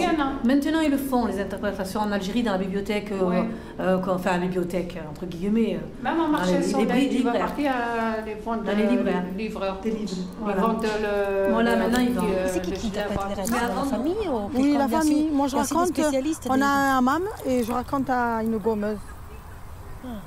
Ah, dans hammam. Ah, dans le hammam, il y a la gommeuse et elle est du bled, elle est, une personne âgée. C'est elle qui me raconte. Je raconte les rêves, elle me les interprète. Des fois même, elle, tellement ça m'angoissait, les, les rêves, elle me, elle les faisait interpréter par un imam ma culture est très présente et à la fois euh, ma culture française l'est aussi et, la, psychanalyse euh, quand j'étais en thérapie ou en malaise. Mais euh, c'est vrai que je n'avais absolument pas le réflexe de parler de mes rêves dans le sens où ça relevait quand même un de mon intimité et malgré tout chez le psy on parle de ça mais quelque chose d'inabordable ou en tout cas d'ininterprétable par, par le psy. Il y avait aussi un rapport à la mère dans la, quand je racontais, c'était, je racontais pas à n'importe qui, je racontais à ma mère avec euh, cette euh, symbolique de, de, de, celle qui te veut du bien, quoi. Mmh, elle me dit, tu vois, mamie, c'est pas pour regarder le rêve que j'ai fait. J'ai dit, oh, c'est parce que le subconscient, comme on appelle nous, il est toujours en train de, de mais il n'y a rien. Et mes filles aussi, hein. j'ai mes deux ah grandes filles. Elles ont des rêves euh, préméditoires aussi. Je l'ai dit à ma mère parce que la dernière fois j'avais rêvé justement. Oui, mes filles, quand elles ont un rêve, elles m'appellent, elles me racontent. Il faut dire euh, le bonheur, Inch'Allah. En arabe, il faut dire le khair, Inch'Allah. Si c'est bien, vous me le racontez. Si c'est pas bien, vous allez le raconter aux toilettes. Quand on se lève le matin, il ne faut pas raconter les rêves. Il faut plutôt les, les oublier ou ouvrir le robinet d'eau. et tirer la chasse. tout dépend les rêves, on se les raconte parce qu'on se les raconte dans la journée, jamais le soir, parce que le soir c'est interdit, c'est pas, bon de raconter ah les rêves. Pourquoi Parce que c'est... Ah, euh, ah oui. ah oui. Et jamais raconte ses rêves, mon fils. Jamais, celui de 22 ans. Jamais, jamais. Mon mari aussi. Il n'a jamais de rêve. Les moments où il m'a raconté ses rêves, ça se compte au bout des doigts. Hein. Vraiment, ou bien il ne me raconte pas, je ne sais pas, mais j'ai l'impression qu'il ne rêve pas. Ce sont plutôt les femmes qui rêvent. mais à mon avis, les, rêves, les, hommes, quand ils rêvent, c'est des trucs de sexe, pas plus. c'est vraiment une situation de huis clos familial entre femmes. Vraiment, c'est une histoire de femmes. Là.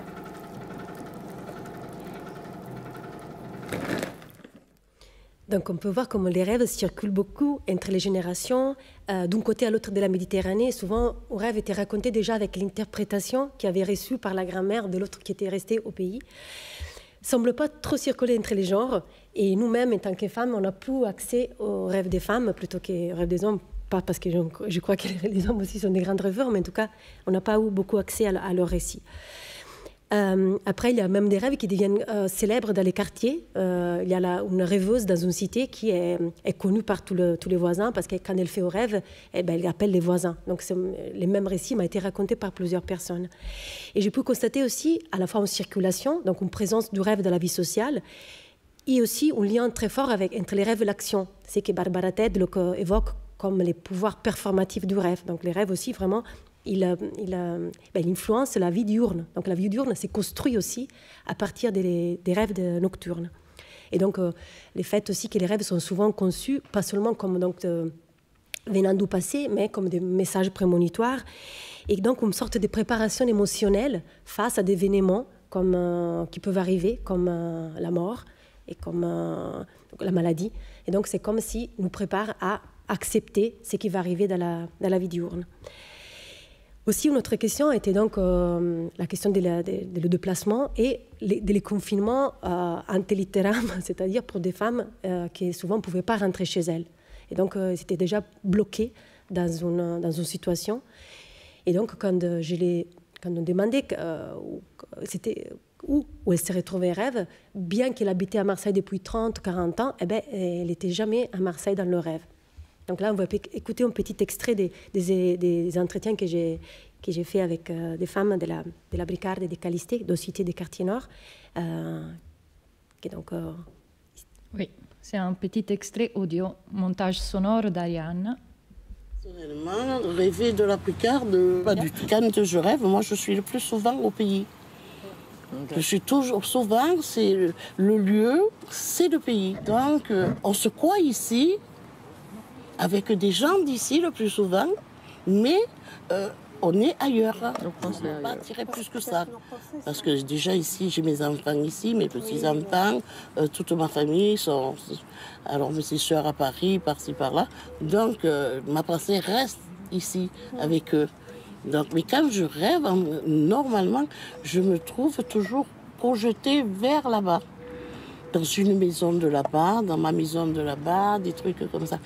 Donc, euh, Moi aussi, souvent, je fais des rêves de quand j'étais petite, dans la maison, de, de là où j'ai grandi. Ben, je rêve de l'appartement. Euh, j'ai l'impression que cet appartement, ça a grandi, mais c'est toujours le même et que je vis ma vie dedans. Comme, comme si j'avais euh, un moment de ma vie dans cet appartement-là. C'est bizarre, hein? Souvent, et souvent, souvent. Et l'appart où vous vivez, où vous vivez maintenant? Jamais. L'autre nuit, j'ai rêvé que j'étais chez ma grand-mère encore. Elle est où C'était où la maison? En Algérie. Et la maison, c'était pareil que dans la réalité. Pareil. Mais en fait, la maison, elle était là-bas. En fait, la maison de ma grand-mère, mais elle se situait ici à Marseille. Avec des personnes de là-bas et d'ici. Qu'ils étaient dans la même maison. Donc déjà, c'est une possibilité de, de, de, retourner au pays. Et eh bien, les rêves deviennent une occasion pour se déplacer, pour euh, traverser les, la frontière, les confins, et euh, pouvoir donc euh, rejoindre la, la, maison où on se sent chez soi. Et ça me fait penser aussi à, Bachelard qui parle de la maison onirique, disant que tous, on revient souvent et rêve dans cette maison natale où on peut se reposer. Et bien là, pour des personnes qui ont vécu les déplacements parfois comme quelque chose d'obligé, cette, repos dans la maison natale, euh, c'est quelque chose qui permet, euh, reprenant l'expression des Sarfati garçons, une continuité intérieure, une cohésion de vie avec euh, l'ici et l'ailleurs, que les rêves permettent. Ainsi comme les rêves permet une communauté de langage avec qui n'est plus là. La question de la mort, que vous avez justement évoqué, comment la crise sanitaire aujourd'hui nous a mis face à des fois à des morts qu'on ne peut pas, ben, on peut pas ritualiser, on peut pas, on peut pas rencontrer non plus les, avant les parents avant qu'ils meurent. Et les rêves deviennent cette communauté de langage, qui, l'expression des, des scolaires, je trouve que c'est très belle parce qu'elle permet de continuer cette communication avec les morts et aussi donc de réélaborer des morts qui parfois on ne peut pas, là que dans les cas où par exemple on ne peut pas voir les corps, on ne peut pas enterrer la personne. Par exemple, il y a une femme euh, qui nous racontait, euh, Saïda, qui nous racontait comment sa mère, qui était au Comores, eh ben, elle était venue sur les ports de Marseille pour la saluer avant de mourir. Et cette rêve, qui, donc cette rencontre qui a été lieu seulement un rêve, parce que la mère n'est jamais venue à Marseille, elle est morte au Comores, eh ben, ça fait partie aujourd'hui de sa mémoire par rapport à la relation avec sa mère. Donc comment les, les, rêves aussi rentrent dans nos relations intimes, nos relations sociales, et deviennent partie d'une biographie diurne qui est liée à la biographie nocturne, bien qu'aujourd'hui on parle beaucoup plus de la biographie diurne des personnes que la biographie nocturne. Mais ces deux biographies sont très liées. Et la question des morts résonne beaucoup et ressort beaucoup dans les rêves qu'on collectait, à, par exemple à Marseille, euh, au cadre des oniroscopes. Euh, oui, on vous présente un petit montage euh, d'un morceau, d'un moment d'un oniroscope au centre social des parcs Calliste en 2013. 13 en 2013. Et je tiens à préciser que c'est un montage parce qu'en effet, là, là, c'est vraiment pour faire court, euh, parce que les récits pendant les onéroscopes sont très déconstruits, très, et sont pleins d'allers-retours euh, entre l'histoire de la fin, les mots en détail du début, et quelqu'un qui intervient et dit moi aussi. Et, ça. Pour les reproduire et rendre utilisables dans le rendu, il s'agit d'un montage. Moi, une fois, j'allais descendre au bled et euh, il y avait mon père qui était décédé et, et je, un an après, je suis descendue au bled et j'avais pas très envie de descendre parce que je me disais comment ça allait se passer sans papa? Et euh, juste avant de partir, je rêvais, euh, j'étais dans la terrasse chez mes parents, ils ont une grande maison, on était dans la terrasse. Et puis il y avait les draps, comme si ma belle-sœur, elle avait lavé les draps. Il y avait des draps et du vent qui faisait comme ça avec les draps propres. Tu vois, les draps, quand ça. C'était plein, toute la terrasse, il y avait des draps et des draps et des draps. Et, euh, et comme si ma belle-sœur, elle me parlait. Ouh, j'ai la chair de poule. J'étais moi, ma belle-sœur et ma sœur. Et elle m'a dit, ah, aujourd'hui c'est jeudi. J'ai dit, oui, bah, c'est jeudi. Elle m'a dit, tu sais, j'ai écouté à la télé. c'est dans le rêve. Hein. Elle dit, j'ai entendu à la télé que le jeudi, tous les morts, ils reviennent chez eux pour voir leur famille, comment ils sont. Leur esprit qui vient à la maison pour voir tous les jeudis. Et euh, elle m'a dit, euh, bah, du coup, elle m'a dit aujourd'hui c'est jeudi, euh, peut-être Bouya, on dit Bouya, donc c'est mon père. Elle m'a dit, Bouya, peut-être il est là, quoi. Et d'un seul coup, il y avait les draps qui ont bougé. Les draps, c'était coloré? C'était comme des draps colorés Il y avait des draps, je me rappelle très très bien, blancs et verts comme le mur, là. Et d'un seul coup, il y avait le vent qui a soufflé. Pardon? Il a soufflé et les draps, ils ont bougé. Et ma soeur, dans le rêve, elle me dit Waouh, c'est Bouya qui est là Et d'un seul coup, euh, ma belle elle a pris son petit comme ça et on a couru, on avait peur de, mon père. Comme si on avait peur de lui. Tu vois, on courait dans les escaliers. Et après, on est descendu, on, on, s'est éclaté dans le rêve, on s'est éclaté de rire. On a dit, mon Dieu, hier, Bouya, c'était notre père, quoi. Mais on a couru comme des folles dans les escaliers, on se basculait et tout. On est descendu et après, on a rigolé, on était en bas, on a rigolé, on dit, mon Dieu, il était là, c'était notre père et maintenant on a peur de lui, ça fait bizarre, quoi. Je me suis réveillée et j'ai dit, ah bah, ça ça devrait bien se passer si je descends au bled parce qu'il y avait des choses sympas. on était tous ensemble, on rigolait et tout. Donc euh, même si mon père il sera pas là, mais il sera là dans nos cœurs quoi. Il est là dans nos cœurs, dans nos esprits quoi.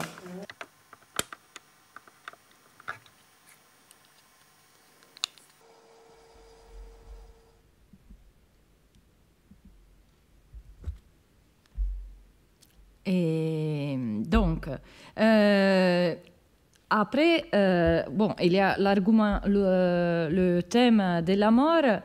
Et euh, aussi, euh, les, les, ce n'est pas rare que les personnes amènent euh, à partager des, cauchemars euh, très angoissants ou aussi des contenus intimes très troublants. Et, surtout, par exemple, dans le cadre euh, de, des ateliers sur les rêves qu'on a fait euh, euh, dans, au sein des, écoles, écoles primaires, collèges, lycées, ou aussi sinon aussi les adultes.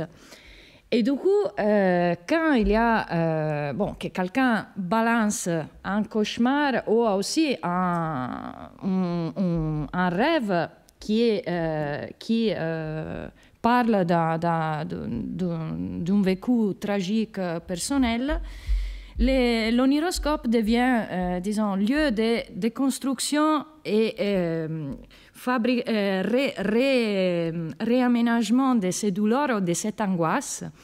Euh, dans le sens que moi, je, moi, je cherche de restituer sur, là, là j'ai mis une, image, disons, un petit frame, un petit, euh, une petite image d'un oniroscope euh, qui, bon, j'ai improvisé avec une petite poupée pendant qu'une personne racontait, et, voilà, d'un mort qui venait dans son rêve, et dans ce cas, c'était un rêve angoissant. Et euh, on était, quand je, je j'ai commencé à bouger cette poupée avec euh, toutes ces graines, euh, avec un aimant derrière, je l'ai, je. Bon, on était tous d'accord que c'était bien angoissant. Alors que des fois, euh, par exemple, quand un enfant nous raconte de la poupée Chucky, je ne sais pas si ça vous dit quelque chose, la poupée assassin des, films, de l'horreur, qui est ressortie dans plusieurs cauchemars des enfants. Et alors on dit, bon, on essaye à reproduire euh, l'angoisse de Chucky. Là, je pas la poupée Chucky, mais c'est quoi qui est, c'est l'angoisse, c'est quoi qui fait l'horreur là? Et alors là, euh, justement, les groupes, un peu, d'abord il y a la, la, dynamique de solidarisation du groupe autour de la personne qui a balancé un contenu intime, angoissant. Du coup, il y a toujours quelqu'un qui dit, ah, moi aussi j'ai eu un rêve. Hein ou quelqu'un qui, euh, qui dit Ah, t'inquiète, moi aussi, ça m'arrive que je, je, me réveille en sueur. Je ne sais pas, ça, ça, ça, ça, crée de la solidarité, de la cohésion. De l'autre côté, ça se crée aussi l'intérêt de, de voir, de, de creuser dans l'image, dans la vision effrayante, euh, les éléments qui font euh, les, les, éléments qui font l'angoisse. Et ces éléments, parfois, souvent, sont des, des éléments qui viennent euh, justement de l'extérieur, d'un langage cinématographique ou de, toute la science de l'image, disons, au service des pouvoirs. Ça, vient de... de, de et, et, cette analyse aussi aide, disons, souvent à dédramatiser et à réélaborer, disons, ces contenus dramatiques. Et euh, au-delà euh, de ça, au-delà des cauchemars, euh, une chose qui nous a frappé euh, d'abord dans les écoles, mais après aussi en travaillant avec des groupes de femmes, c'était la, question du sommeil. Parce que beaucoup d'enfants nous disaient qu'ils ne se souviennent pas les rêves. Ils ne se souviennent pas les rêves d'abord parce qu'ils ne dorment pas, ou ils ne dorment pas assez. Et euh, également, euh, euh, plusieurs femmes, plusieurs personnes qu'on a interviewées, la question du sommeil, ça a commencé à s'imposer et à nous interroger beaucoup. Et moi, en tant qu'artiste, je me suis demandé si les rêves sont beaucoup d'iconographie, ils sont des récits, ils sont des narrations dedans, il y a plusieurs éléments avec lesquels je peux jouer.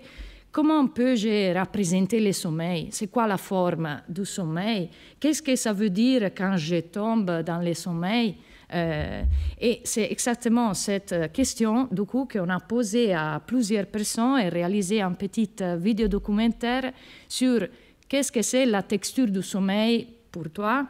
Et des réponses là, euh, j'ai fait voir un tout petit extrait parce qu'il est, il est 13 minutes, là on n'a pas le temps de voir tous les, les fois que... Oh. Ah oui. Voilà. Et voilà, juste quelques, quelques minutes de notes de sommeil. Euh, si j'arrive à le... Pardon, hein. Alors,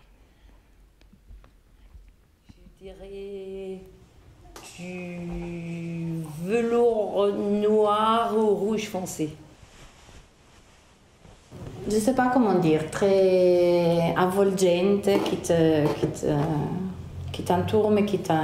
Vu que je dors très profondément, très bien, mais je me sens très, très rassurée, très euh, embrassée. Un glissement, mais un glissement sur une matière douce, tu vois, comme euh, quelque chose de très douce, de très flottant, ça flotte, c'est... Ouais, tu vois, de, de, de la mer quand tu t'abandonnes dans l'eau, c'est plutôt, voilà, une sensation de flottement. Le sommeil est une, une eau noire. Une eau noire. Une- de l'eau noire. De l'eau noire. Ouais. Euh, Comme un drap, toi, je pense, c'est évidemment pareil. La douceur d'un drap blanc. euh, Je sais que je sais pas exactement qu'est-ce que c'est un cocon. Un cocon, c'est par exemple le papillon. Avant de un papillon, il se crée un cocon. La chenille, elle se crée un cocon. C'est ça le cocon. C'est super. En ce moment, les réveils, c'est super dur. Tu t'arraches vraiment. C'est derrière les yeux, sont à moitié fermés. Il y a un truc vraiment qui te prend toute la tête, qui tense. C'est un peu, c'est pour ça que je disais cocon. C'est vraiment l'impression que tu as tous les restes du cocon qui te restent encore, que tu vas encore te nettoyer. Vraiment. je- Et du coup, t'as la sensation que quelque chose est resté. ouais, que c'est encore accroché tout, les yeux sont encore euh, tout endormis, la tête, tout ça. il y a- mais mais c'est pas seulement les yeux, parce que les yeux c'est normal, mais c'est vraiment la tête, un truc du cerveau qui est euh, super chaud en fait.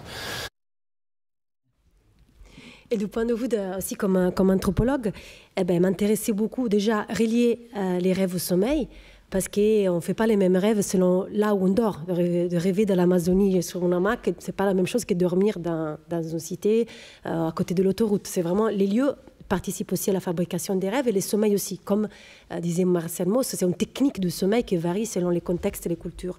Et comme on disait justement avant, les sommeils se transforment historiquement. Donc on a aujourd'hui, euh, depuis la révolution industrielle, une naturalisation de sommeil comme s'il dure 8 heures par nuit.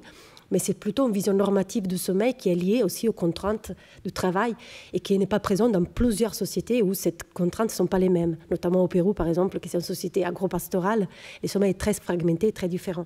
Mais aussi, cette privatisation du sommeil qu'on euh, constate en Occident, comme euh, disait Norbert Elias, la, la chambre à coucher est devenue une des enceintes les plus intimes de la, vie sociale. On ne peut pas regarder les sommeils des autres. Et là, par contre, dans plusieurs sociétés, le sommeil est un, est un comportement collectif. Donc, euh, dormir ensemble, c'est justement quelque chose qui est très très très commun parce que la nuit c'est, ben, lié à l'anthropologie de la peur. Dans toutes les sociétés la nuit c'est le moment de la peur. Et pour faire face à cette peur justement la, collectivité le fait de dormir ensemble devient la source des, soutiens des- des sujets. Et donc euh, on a commencé donc à vouloir étudier aussi les sommeils. Tout d'abord on a donc on allait contacter les centres de sommeil de la Timone où on a rencontré le docteur Marc Ray avec lesquels est née une collaboration et la volonté de faire un, un vrai projet de recherche interdisciplinaire, recherche-action sur les sommeils, donc avec euh, Marc Ray, Frédéric Fabre, euh, qui est un psychologue, tout et moi. Et donc l'idée c'était euh, donc mener une recherche, et, mais aussi une action, euh, toujours dans les quartiers que nous on, avait connus grâce à l'ethnographie et à la recherche, et donc voir comment les sommeils aussi étaient donc on- ben, au croisement entre à la fois des, un comportement neurophysiologique, mais très influencé aussi par exemple par les territoires, par les lieux où on habite. Les cités dans lesquelles on, travaille sont des, justement les logements sont des logements insalubres, euh, humides, froides. Euh, les personnes ne s'arrivent pas à s'abandonner au sommeil parce qu'elles ne sont pas en sécurité dans ces maisons, dans cet endroit qui n'est pas donc un endroit de l'intime, euh, de la sécurité. Et donc, des fois, on arrivait, par exemple, on s'est rendu compte aussi comment les, sources d'information sur les sommeils, aujourd'hui, on parle beaucoup de sommeil avec le confinement, mais on s'est rendu compte comment, des fois, on a des représentations et aussi des. Là, par exemple, ça, c'était. euh, c'est une sorte de, de document, de, un flyer de sensibilisation euh, du sommeil que les centres de sommeil distribuent pour euh, des normes de bon sommeil. Mais cette maison n'existe pas. à Calisté, à Bricard. Donc les gens ne peuvent pas du tout se reconnaître dans cette image qui ne correspondent pas à leur propre euh, vécu diurne et nocturne. Et donc on a cherché aussi dans le cadre de cette recherche-action de réfléchir aussi à des images autres pour parler de sommeil qui parlent avec les habitants qui ont d'autres vécus de sommeil. Oui. Et du coup, euh, on a eu la possibilité, grâce à un financement de l'Agence régionale de santé, euh, de euh, réaliser un atelier, sommeil destiné aux mères d'enfants en bas âge qui aide, disons, aide les mères à retrouver, disons, un fil de transmission du sommeil entre elles et les bébés et en même temps euh, qui nous permettent de continuer euh, euh, la recherche et sur la transmission du sommeil et aussi l'action sociale de sensibilisation aux enjeux différents du sommeil à un niveau culturel, à un niveau social, à un niveau même politique et individuel. Oui, et on a commencé euh, là euh, l'année dernière, en 2010, 2019. On a, en, 2000, euh, oui, en 2019, on a commencé à faire ces ateliers dans des PMI, dans des centres sociaux, dans des maisons pour tous, dans les quartiers défavorisés de la ville. Euh, et euh, chaque atelier euh, se déroule en, six séances. Chaque séance, on aborde des sujets différents liés au sommeil. Et entre autres, parce que ce sont des ateliers très, très, très denses, on aborde, on, trace l'arbre du sommeil. l'arbre du sommeil pour, de chaque participante. Et l'arbre du sommeil, je montre des photos euh, alors, l'arbre du sommeil, après, on les consigne en forme d'affiche à chaque participante et on les regarde ensemble. Et bien sûr, on les compose petit à petit. À chaque séance, il y a des récits des femmes euh, qui, racontent tous les enjeux de leur sommeil qui ressortent dans, la séance. Et moi, à fur et à mesure, je dessine des scènes, euh, disons, de, leur vie nocturne. Et à la, à la, séance suivante, après, on regarde ces images, on les recompose, on les met en lien. Et c'est de ces images qui ressortent, par exemple, qu'une habitude euh, de son nourrisson sont les mêmes habitudes qu'elle avait quand elle était petite, ou, ou tous des enjeux comme ça, que voilà, avant au pays, euh, elle s'endormait euh, dans le bruit, dans, dans, pendant qu'il y avait la fête, les invités, alors qu'à Marseille, la personne elle a commencé à être hypersensible au, bruit. Et euh, je, je vais un peu, si j'arrive, je vais un peu dans l'image. Vous voyez déjà que l'arbre il a des racines. Les racines ressortent parce que euh, on demande, euh, Ariane pose des, questions sur euh, comment vous vous endormez quand vous étiez petite. C'était quoi la culture que vous avez dans la maison du sommeil? C'était quoi? Il y a, des, gens qui naissent dans des milieux où, et ça c'est moi-même par exemple, où le, le sommeil c'est une perte de temps par exemple, et après ça influe plus tard, il y a des, personnes euh, qui, par exemple, là, euh, voilà, euh, cette femme nous racontait que sa mère, elle était, faisait pas de sieste, elle devait faire les linges, elle devait faire, hein, alors que le papa, oui. Et bien sûr, c'est une femme qui n'arrive jamais à se reposer pendant la journée. Voilà. Après, il y a les troncs. Les troncs, il est composé par, euh, disons, toutes les habitudes et les, changements de vie qui ont conditionné notre sommeil dans l'adolescence, la grossesse, euh, et puis les compagnons. Il ronfle, il ronfle pas, il est présent, il n'est pas présent, il aide, il aide pas. du coup, il y a la avec, euh, entre guillemets, l'excuse de fabriquer l'arbre du sommeil, on aborde toutes les questions qui sont autour du fait que l'enfant ne dort pas ou la mère ne dort pas. Et les branches sont divisées aussi en violet, qui sont les troubles que les femmes reporte, par exemple, qu'après 21 heures, elle, est, elle est épuisée, c'est un trouble. Ou les rouges sont les ressentis, les, situations émotionnelles, par exemple, là, c'est une femme qui dit non, je, demande aide à personne parce que ça ne sert à rien. Ça, c'est n'est pas un trouble du sommeil, mais c'est un ressenti. Et aux euh, sont plutôt les usages, les pratiques, euh, voilà, de se réciter dans la tête le Coran pendant qu'on cherche à apaiser l'enfant, c'est une pratique. Et, et voilà, du coup, l'image par rapport à la texture du sommeil, là, j'ai euh, élaboré une image du sommeil que c'est plutôt, pas euh, le portrait d'un objet, mais c'est plutôt la description d'un parcours euh, ou d'une matière organique qui a une évolution. du coup, c'est de là la forme de l'arbre. Et donc les arbres sont des biographies nocturnes donc, euh, dont on parle peu. À la fois sont individuelles, mais en même temps, et regardant chacun les arbres des uns et des autres, on peut voir comment il y a des aspects donc, communs dans, nos sommeils, comment il y a des, événements qui transforment les sommeils. Euh, par exemple, les sommeils, ça se transforme selon les saisons, après les mariages, euh, avec les ramadans. Donc, il y a plein des événements sociaux qui transforment les sommeils, aussi que les rêves. Et aussi, comment donc, à partir de ces arbres-là, deviennent aussi des documents, des, donc des, témoignages aussi de, la, de l'inscription de sommeil dans une histoire donc, individuelle et collective. Et, pour, et aussi pour placer les rêves dans un contexte aussi des, des, de cette biographie onirique où les sommeils, ça, ça s'est construit aussi. Euh, on était dans les, dans les, cas de faire les ateliers quand il est arrivé, donc euh, les mars 2020, les confinements, la, la crise sanitaire.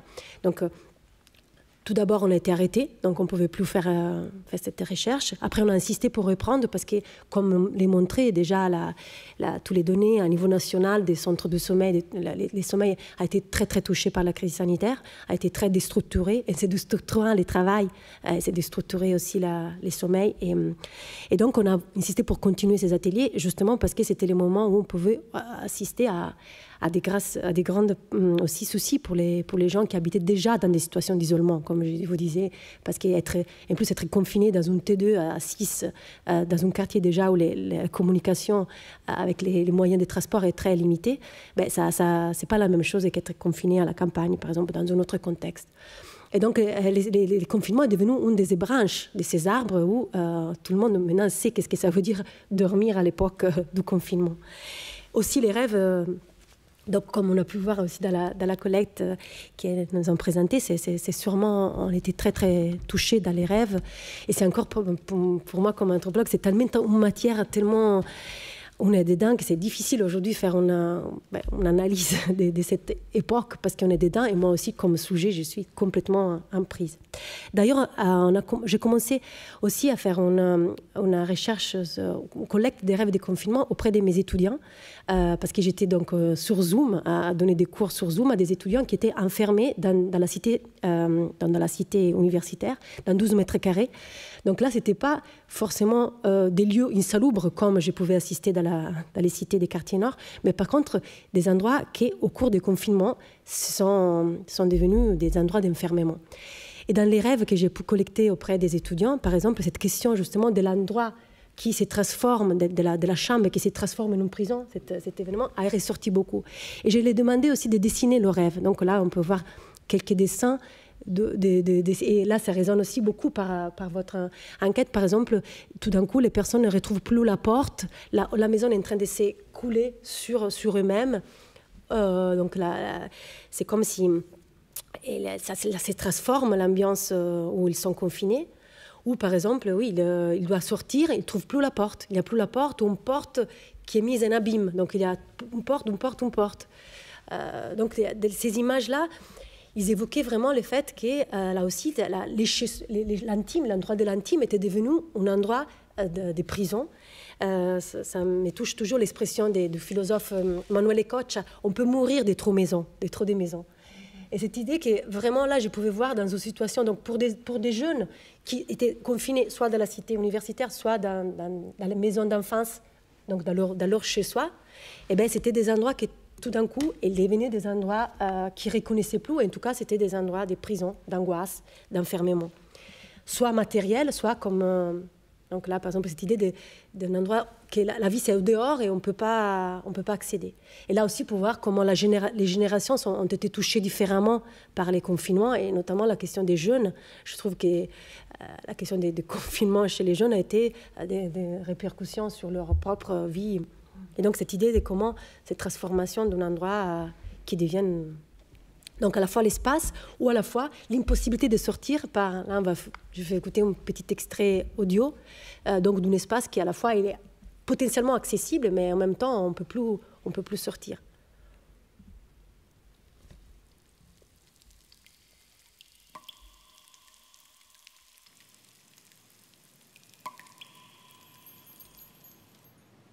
Alors du coup mon rêve, euh, donc c'est quasiment toujours le même, il y a quelques petites variations, mais la base est la même.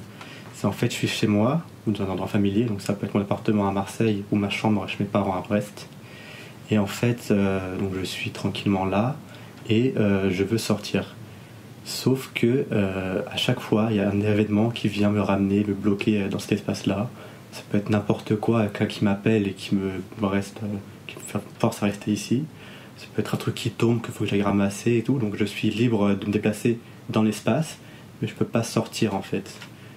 Et, euh, en fait, au fur et à mesure de ce rêve, euh, comme il n'y avait que lui qui revenait, tous les autres rêves où je rêvais, où j'étais ailleurs, ils commençaient un petit peu à, disparaître et du coup les souvenirs ils commençaient un petit peu à s'embrouiller. Il n'y avait plus que ça, que cet espace euh, clos familier qui me venait en tête. C'était à sud de Marseille, donc un appartement. Euh, qui est assez petit et assez sombre. Donc c'est pas un endroit euh, très agréable où je reste souvent euh, le jour. Mais justement, le fait d'être là-dedans, bloqué dans ce rêve, ça rajoute un côté un petit peu angoissant parce qu'il y a le soleil dehors mais je peux pas l'atteindre. Je suis vraiment dedans chez moi, entre des grands immeubles qui bloquent ma vue. Donc j'ai vraiment pas de rapport avec l'extérieur. Et c'est que ce que je trouve intéressant, que ces rêves, si on était ces rêves avaient été faits euh, en 2018, eh ben, ça aurait été, pour rêve, reconduit à une angoisse euh, personnelle d'un étudiant d'architecture de Marseille. Cette rêve, aujourd'hui, nous parle à tous. C'est la crise sanitaire, cette expérience qui donc, a traversé notre société, devient aussi la, source d'une trame collective entre des rêves qui aussi, avant, auraient pu, euh, parce que là, il n'y a pas une, une trace directe du confinement donc mais nous, on les reconnecte à cette expérience qu'on est en train de vivre. C'est comme donc qu'on est plus conscient du fait qu'on est, que nos rêves aussi parlent entre les, les uns les autres, les autres rêves. Donc c'est vraiment une trame collective qui s'est créée à partir aussi de la crise sanitaire. Moi, j'étais, ben, comme, comme on disait avant, ces, années, donc ces deux années qui nous ont troublés, en même temps, ils ont c'en était un, moment où les rêves ont pris place dans la vie sociale, de plus en plus. Donc, des collectes, les besoins des personnes de raconter les rêves. Et donc, une mémoire onirique qui euh, se développe chez les sujets qui avant peut-être euh, se souvenaient moins. Moi, j'ai pu voir dans des sociétés comme celle péruvienne, euh, donc où les rêves, on les partage tout le temps, eh ben, la mémoire onirique est très, très collective et solide. Donc, les gens disent que c'est impossible de ne pas souvenir les rêves. Est-ce que cette époque qui donc, euh, où les rêves sont en train de prendre une place dans la vie sociale, dans les sciences sociales donc, euh, et dans la vie sociale des gens, est-ce qu'on peut développer peut-être une nouvelle mémoire onirique plus solide, ça c'est une hypothèse, et en même temps les besoins de partage. Donc comment euh, cette question du rêve et du partage des rêves, on, se sent aujourd'hui plus autorisé à parler des rêves. C'est pas juste de l'intime, alors qu'il euh, y a trois ans, demander à des personnes qui n'avaient pas la culture de partager les rêves, ça aurait été plus un acte presque des, violations de l'intime, alors qu'aujourd'hui, les gens se sont autorisés. Moi, j'avais fait des mêmes questions à mes étudiants il y a des années, et et les étudiants, ils n'avaient pas résolu comme avec, avec maintenant comme 150, 140 rêves qui m'ont arrivé comme ça. Donc, ils ont s'autoriser à parler des rêves. Et qu'est-ce que c'est aussi l'effet de ces partages? Comme disait avec euh, Touya avant, pour nous, on se rend compte qu'il y a un partage collectif des rêves, une présence aussi, et le fait que les gens, euh, ben, ça s'est créé des liens, des liens autres, c'est-à-dire le fait que même les rêves, ça nous permet d'expérimenter un autre soi, pas forcément, même nous, avec les, les habitants, c'est pas juste l'habitant du quartier nord. Non, dans les rêves, on devient autre personne. On a, les rêves un registre narratif autre pour se raconter. Et les liens qu'on peut se faire en racontant ces rêves, moi, j'aime parler d'une intimité sociale qui s'est créée grâce au partage des rêves et qui peut donc peut-être aussi nous aider à réélaborer la crise. Donc, à la fois Et les rêves est un lieu d'inscription de la crise, mais en même temps peut être aussi une source de réélaboration collective de cette crise. Parce que c'est vraiment une matière qui, nous, qui tout le monde rêve, et peut-être cette partage qui est inédite dans notre société, qui est en train de prendre place, peut-être va changer aussi nos habitudes et nos relations sociales. Oui, et afin de, faire une réélaboration collective, c'est nécessaire aussi se rapproprier ou, ou continuer à, à s'approprier de la possibilité de se, faire, de se fabriquer des images, de se fabriquer un répertoire de langage euh, sur lequel, en tant que communauté euh, officielle ou non officielle, on se reconnaît. Euh, et c'est pour ça que c'est important parce que, euh, surtout aujourd'hui, euh, après, nous, c'est vrai que euh, l'objectif, disons, de créer un espace social autour des rêves, c'est venu bien Bon, ça fait c'est du début de notre démarche, mais aujourd'hui encore plus, euh, aussi un niveau de support euh, et d'outils qu'en tant que communauté on peut avoir pour euh, nous créer ou, déconstruire euh, des visions de la réalité. Euh, oui, euh, on a la nécessité de se retrouver physiquement, et de prendre en main des objets, les objets qu'on a dans le quotidien et pouvoir en parler, pouvoir en fabriquer euh, des images. Surtout parce que l'image aujourd'hui euh, euh, nous bombarde et souvent elle est, elle fabriquée par des professionnels de l'image payés pour nous, pour nous vendre des choses, pour nous persuader de quelque chose on nous, on nous induire des modèles culturels, des, modèles de comportement ou d'usage des choses. Alors non, euh, l'image, euh, l'image comme les chants, la danse et tout, justement, euh, tout ce que tu évoquais aussi à propos de faire la fête ensemble, ça nous sert justement à conserver une, une, identité collective et individuelle. Et voilà. Merci beaucoup.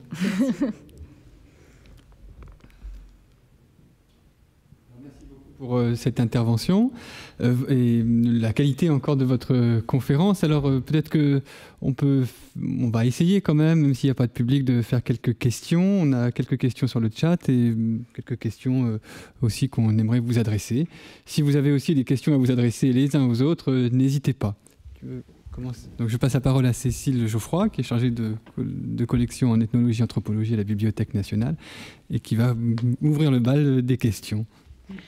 Je vous remercie pour ces interventions euh, passionnantes et euh, cette possibilité que vous nous avez offerte de euh, découvrir ce que les rêves nous apportent sur le temps qui a été vécu, que l'on vit depuis à peu près un an, et deux situations très différentes, puisque la première intervention était traiter des rêves qui étaient plutôt le, fait de, personnes d'abord en analyse, et puis vous nous abordez, vous abordez vous Touya Kerichi et, et, et Ariana Cecconi, les rêves qui sont faits plutôt dans les quartiers nord de Marseille, où vous disiez des populations qui, ont des parcours migratoires et qui viennent d'autres cultures, de cultures de l'autre côté de la Méditerranée, où le, le rapport au rêve n'est pas le même.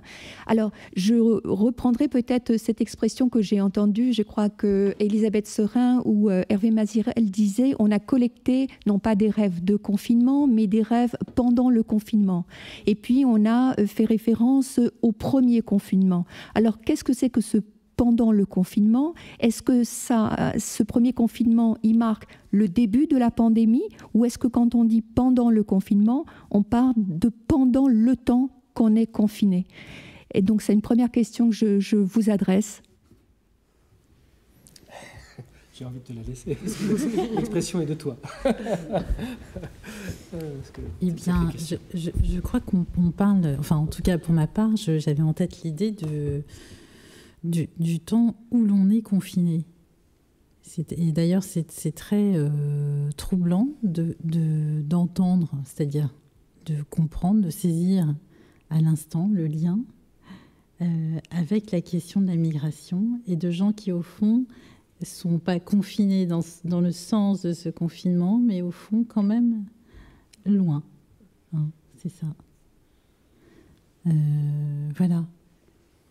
Alors, je posais la, la question, peut-être je vais un petit peu préciser euh, cette interrogation, parce que vous nous avez euh, renvoyé, donc euh, vous avez repéré des thématiques, des choses qui se répétaient, et dans les, dans les thématiques que vous nous avez évoquées, il y avait des retours à d'autres pandémies, des retours à des événements historiques et surtout des guerres.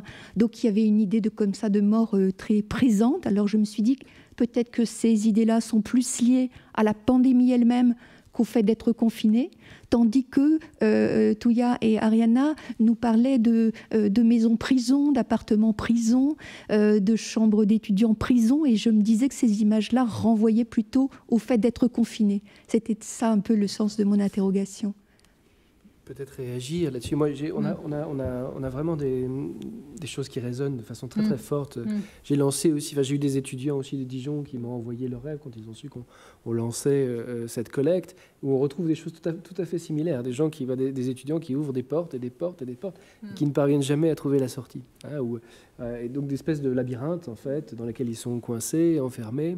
Ah, donc on a, on a aussi beaucoup rencontré ce, type de, de, rêve autour de la, claustration, du labyrinthe, de des routes barrées, euh, de l'impossibilité de voilà d'échapper, de l'échapper belle en quelque sorte. Hein, l'enclosure, on en parlait un peu tout à l'heure.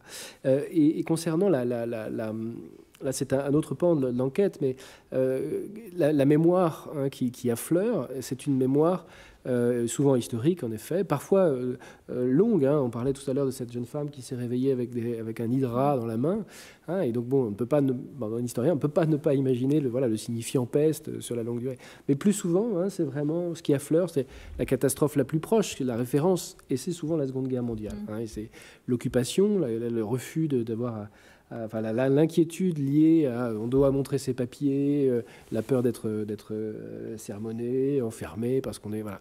Et puis de l'autre côté, toute la, une mémoire très très lourde, celle des camps. Hein, vous parlez tout à l'heure, voilà, la, la, la, prison, les hôpitaux qui, comme si on était dans un, un, un, grand hôpital à ciel ouvert, mais qui renvoie directement à l'imaginaire des camps. Et cette mémoire qui affleure, c'est une mémoire essentiellement filmique. Hein, la plupart des gens n'ont pas connu ces, ces, ces, conflits, bien sûr. Et c'est ce que tu évoquais tout à l'heure, Touya, hein, c'est-à-dire que les gens font avec tout un tas d'images qui viennent des films. Tu parlais de la poupée Chucky là, mais en fait euh, recomposent avec euh, dans leurs rêves avec toute une, toutes les images qu'ils ont à, disposition et bien souvent celles de films hein, qui les ont particulièrement marquées et qui servent de référence. La dernière catastrophe, c'est celle-là et, et, en effet, il y a le signifiant, c'est la guerre. Et c'est d'abord vers ça qu'on se tourne pour essayer de donner sens à cet événement cataclysmique dans lequel on est tous pris voilà, l'événement référence, c'est celui-là, qui est euh, à 50 ans, mais, mais et, qui passe par, euh, par euh, voilà. Et, j'étais très frappé d'ailleurs. Tu le disais tout, tout, tout à l'heure. C'est, je parlais de Foucault qui disait au fond les rêves, c'est d'abord des, c'est d'abord des images avant d'être des mots. C'est d'abord, mm. c'est une rhapsodie d'images, disait-il. Et donc il faut inventer une anthropologie de, de l'image et de l'imagination. Et il me semble que c'est aussi ce que vous faites. Hein, et ce qui vous apportez euh, vraiment quelque chose de très fort de ce point de vue-là, hein, qui, euh, qui ne passe pas seulement par, euh, par la voix des mots, du, du langage, des signifiants. Et, donc, moi, je, je suis très frappé par les correspondances, hein, même si on a des terrains a priori ah assez éloignés ça, résonne fortement. Hein, voilà. Je ne sais pas si j'ai répondu complètement à votre question, mais euh, voilà, c'est, euh, je dirais, les, on a trouvé ces deux, ces, deux, euh, ces deux matériaux-là aussi. Mmh, merci beaucoup. Et moi, je voulais juste évoquer une chose, parce que je trouve que ça, la, question, quand ça termine le confinement, c'est-à-dire comme j'ai pu voir dans la guerre au Pérou, une fois que la guerre termine, ben, ça termine pas, c'est pas comme ça terminé, c'est terminé. C'est-à-dire, par exemple, justement, les rêves représentent les lieux où se continue à se manifester la guerre pendant des années et des années. Donc, je me questionne sur c'est quand la fin, de, ben, là, c'est apparemment la fin du premier confinement, la fin du deuxième confinement, c'est quand quel bien quel confinement, j'espère, j'espère bien ça va un jour terminer définitivement, jusqu'à quand on continuera à rêver du confinement. Et c'est vraiment la question de, la, donc de cette réélaboration qui va se faire dans les rêves. Je pense ça deviendra vraiment quelque chose dans les années. Et peut-être que ce sera dans trois ans aussi qu'on fera des rêves des confinements, par contre, et pas pendant les confinements. Donc, c'est cette catégorie temporelle qui nous bouscule et que, les rêves vont peut-être mettre un abîme aussi par rapport à, à la temporalité. Et, je, rebondis encore sur ce que tu viens de dire, Ariana. Je crois que l'un des grands apports justement de la psychanalyse, en tout cas pour nous euh, historiens, hein, c'est d'avoir révolutionné un peu nos manières d'appréhender le temps. Hein, on avait tendance à avoir une vision du temps linéaire, homogène en histoire. Hein, et, en, psychanalyse, le, temps, euh, c'est ce que ce qu'appelle Green appelle le temps éclaté. Mais c'est-à-dire qu'on on s'est habitué au contact de la psychanalyse à travailler sur la, mémoire collective en historien et donc à, considérer qu'un événement, il est jamais clos, qu'il ne cesse en fait de se rejouer à travers le temps, de se poursuivre. Euh, maintenant, du coup, par exemple, je pense au, livre d'Henri de, Rousseau, justement, sur le régime de Vichy. Hein, il commence son livre non pas pendant la période de Vichy, mais à la fin, pour essayer d'explorer les métamorphoses de l'événement sur le temps long, sur les générations, un événement qui ne cesse en fait de, de revenir, de parfois de, sombrer dans l'oubli, enfin qui est pris dans une dialectique de la mémoire et de l'oubli. donc c'est intéressant en effet de savoir qu'est-ce que va devenir l'événement euh, pandémie, l'événement confinement dans les générations qui viennent. Et, enfin d'abord euh, chez nous, hein, voir si on va en continuer à en rêver ou pas, mais probablement c'est un événement qui a, qui a de l'avenir, qui a de l'avenir, au moins dans les mémoires. D'ailleurs, j'ai quelques questions en fait sur le, à vous poser d'auditeurs en fait. Donc, il y a quelqu'un qui demande euh, est-ce que pour vous la pandémie a-t-elle fondé euh, une nouveauté dans l'imaginaire collectif ou a-t-elle été le révélateur de peurs en fait déjà inscrites, déjà anciennes, inscrites dans l'inconscient en fait que ce moment qui était sous-jacente et que ce moment de confinement en fait a, a révélé? C'est une première question. Si Peut-être euh, Elisabeth euh, oui, c'est un peu la question de la poule et l'œuf. franchement, euh, je, trouve que c'est quand même assez manifeste que le confinement qu'on vit, c'est quand même pas la première situation de confinement, parce qu'au fond, on, entend bien à quel point ça peut résonner avec d'autres histoires finalement, et puis comme ça s'inscrit aussi hein, par rapport à cette question de, confinement précédent dans l'histoire. Donc, je, crois que peut-être la question de la forme, c'est ça qui est intéressant peut-être, c'est quelle forme ça prend, comment ça s'actualise euh, finalement en fonction des, des époques, mais aussi donc des, milieux, euh, et quelle forme on y donne, c'est ça. C'est-à-dire comment on en sort, c'est aussi euh, quelle forme on va y donner. C'est là que je trouve que c'est beau ce lien avec ces objets qui existent dans la réalité, qui sont des, objets. Alors, je réfléchissais à ça il n'y a pas longtemps par rapport au, lieu où je travaille avec ces, jeunes en difficulté, qu'on dit en difficulté d'insertion. C'est-à-dire que c'est cette question du lien social qui revient incessamment et comment eux-mêmes sortent de leur confinement psychique. Eh ben, c'est vrai que dans cette institution, ça passe aussi beaucoup par la circulation d'objets comme ça, qui sont pas des objets des produits finis, mais qui sont des objets potentiels en fait, c'est-à-dire en transformation euh, permanente. Donc euh, je, crois que c'est une transformation permanente de, nos peurs, de nos réponses, d'une de, métamorphose comme ça, au fond de choses très très humaines et très, très qui viennent de, de, très très loin, parce que cette circulation des rêves, c'est comme la circulation des contes aussi, finalement. Hein. Ça se transmet euh, de génération en génération. Tout en se métamorphosant. C'est une, encore une sorte de continuité dans la discontinuité, enfin une discontinuité dans la continuité au long cours. C'est, voilà, c'est une espèce de voilà de, transformation, transformation silencieuse permanente d'une matière qui néanmoins reste quand même globalement la même, mais qui, qui, qui, se métamorphose au fil du temps et des générations. Je dirais que voilà, c'est une espèce de dialectique entre la continuité et la discontinuité. Quelqu'un qui demande aussi quel est le rapport dans votre collecte, Elisabeth et Hervé, quel est le rapport euh, des, mais quel est le rapport des rêveurs au paysage? Euh, on a eu dans la mhm. lecture euh, la présence forte des paysages d'enfance. Vous l'avez dit, le village en Savoie, la personne qui se trouve sur l'île d'Aix. On a eu aussi dans votre, dans votre collecte, Ariana et Touya, euh, des paysages d'enfance, ces femmes qui parlent de, du pays, euh, de leur pays d'origine. Et donc la, personne, la question en fait, c'est quelle est la place en vérité de ces paysages au moment de, du confinement, la place et la signification en fait euh, des paysages, de la présence de ces paysages d'enfance dans le rêve. Bon, c'est peut-être pas lié simplement au confinement, c'est quelque chose d'assez général, mais qu'est-ce qu'on en fait à ce moment-là? Moi, j'ai été peut-être. Et du coup, c'est une dimension, je me dis, à laquelle je dois m'intéresser plus, la, question de la maison familiale, de, ce lieu refuge, notamment pour les gens qui sont en situation d'exil. hein, qui permettent de créer une continuité euh, biographique. Hein. Mm. Euh, ça, c'est, je trouve ça fascinant. Comme, comme enfin, du coup, je, je, vais y être d'autant plus sensible à l'avenir. La question du paysage, pour le coup, dans, cette, euh, dans, le, dans le matériau qui est le nôtre, moi, je l'ai plus abordé du côté de, dans ce confinement. Dans, alors, les gens ont commencé à réinventer un peu leur maison, à créer des cabanes, à rêver de cabanes, etc. Mais, mais, mais le paysage, c'était l'échappée belle. C'était justement Mm. la possibilité hein, d'une, d'une, d'une, de retrouvailles avec la nature, avec le monde. Vous avez entendu, hein, il y a des rêves en Amazonie, il y a des rêves, j'ai des rêves aussi d'îles désertes, qui, m'a, qui m'ont Mm. frappé. C'est des gens tout d'un coup disaient ouais, où peut-on aller pour échapper finalement au coronavirus? Est-ce qu'il y a un endroit hein, euh, Voilà, et donc créer des, un peu des, îles mythiques ou des lieux mythiques où on pourrait vivre comme avant. Ah, et donc le- plutôt le paysage, c'est plutôt des pays. Moi j'ai, rencontré beaucoup de, de récits avec des paysages d'îles, euh, d'îles perdues, d'îles lointaines, d'îles paradisiaques, euh, quelque chose qui est, de cet ordre-là, hein, du- d'une voilà, d'une, d'un- euh, qui permettent une échappée par l'imaginaire, une brèche du coup aussi dans le dans l'enclosure, quoi. Voilà, comme un comme un, un lieu de refuge, euh, loin de tout, loin des autres, hein, loin du contact.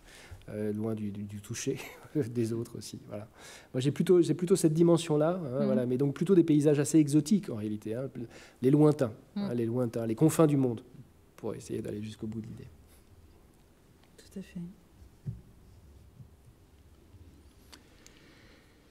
Il y a quelqu'un qui demande, alors peut-être euh, Cédric, si vous, enfin, pouvez- mais quelqu'un qui demande comment peut-on transformer nos rêves en matière dramatique? C'est- C'est-à-dire euh, faire passer en fait, euh, euh, comment dire, ce matériel inconscient à quelque chose de conscient, à quelque chose de réveillé.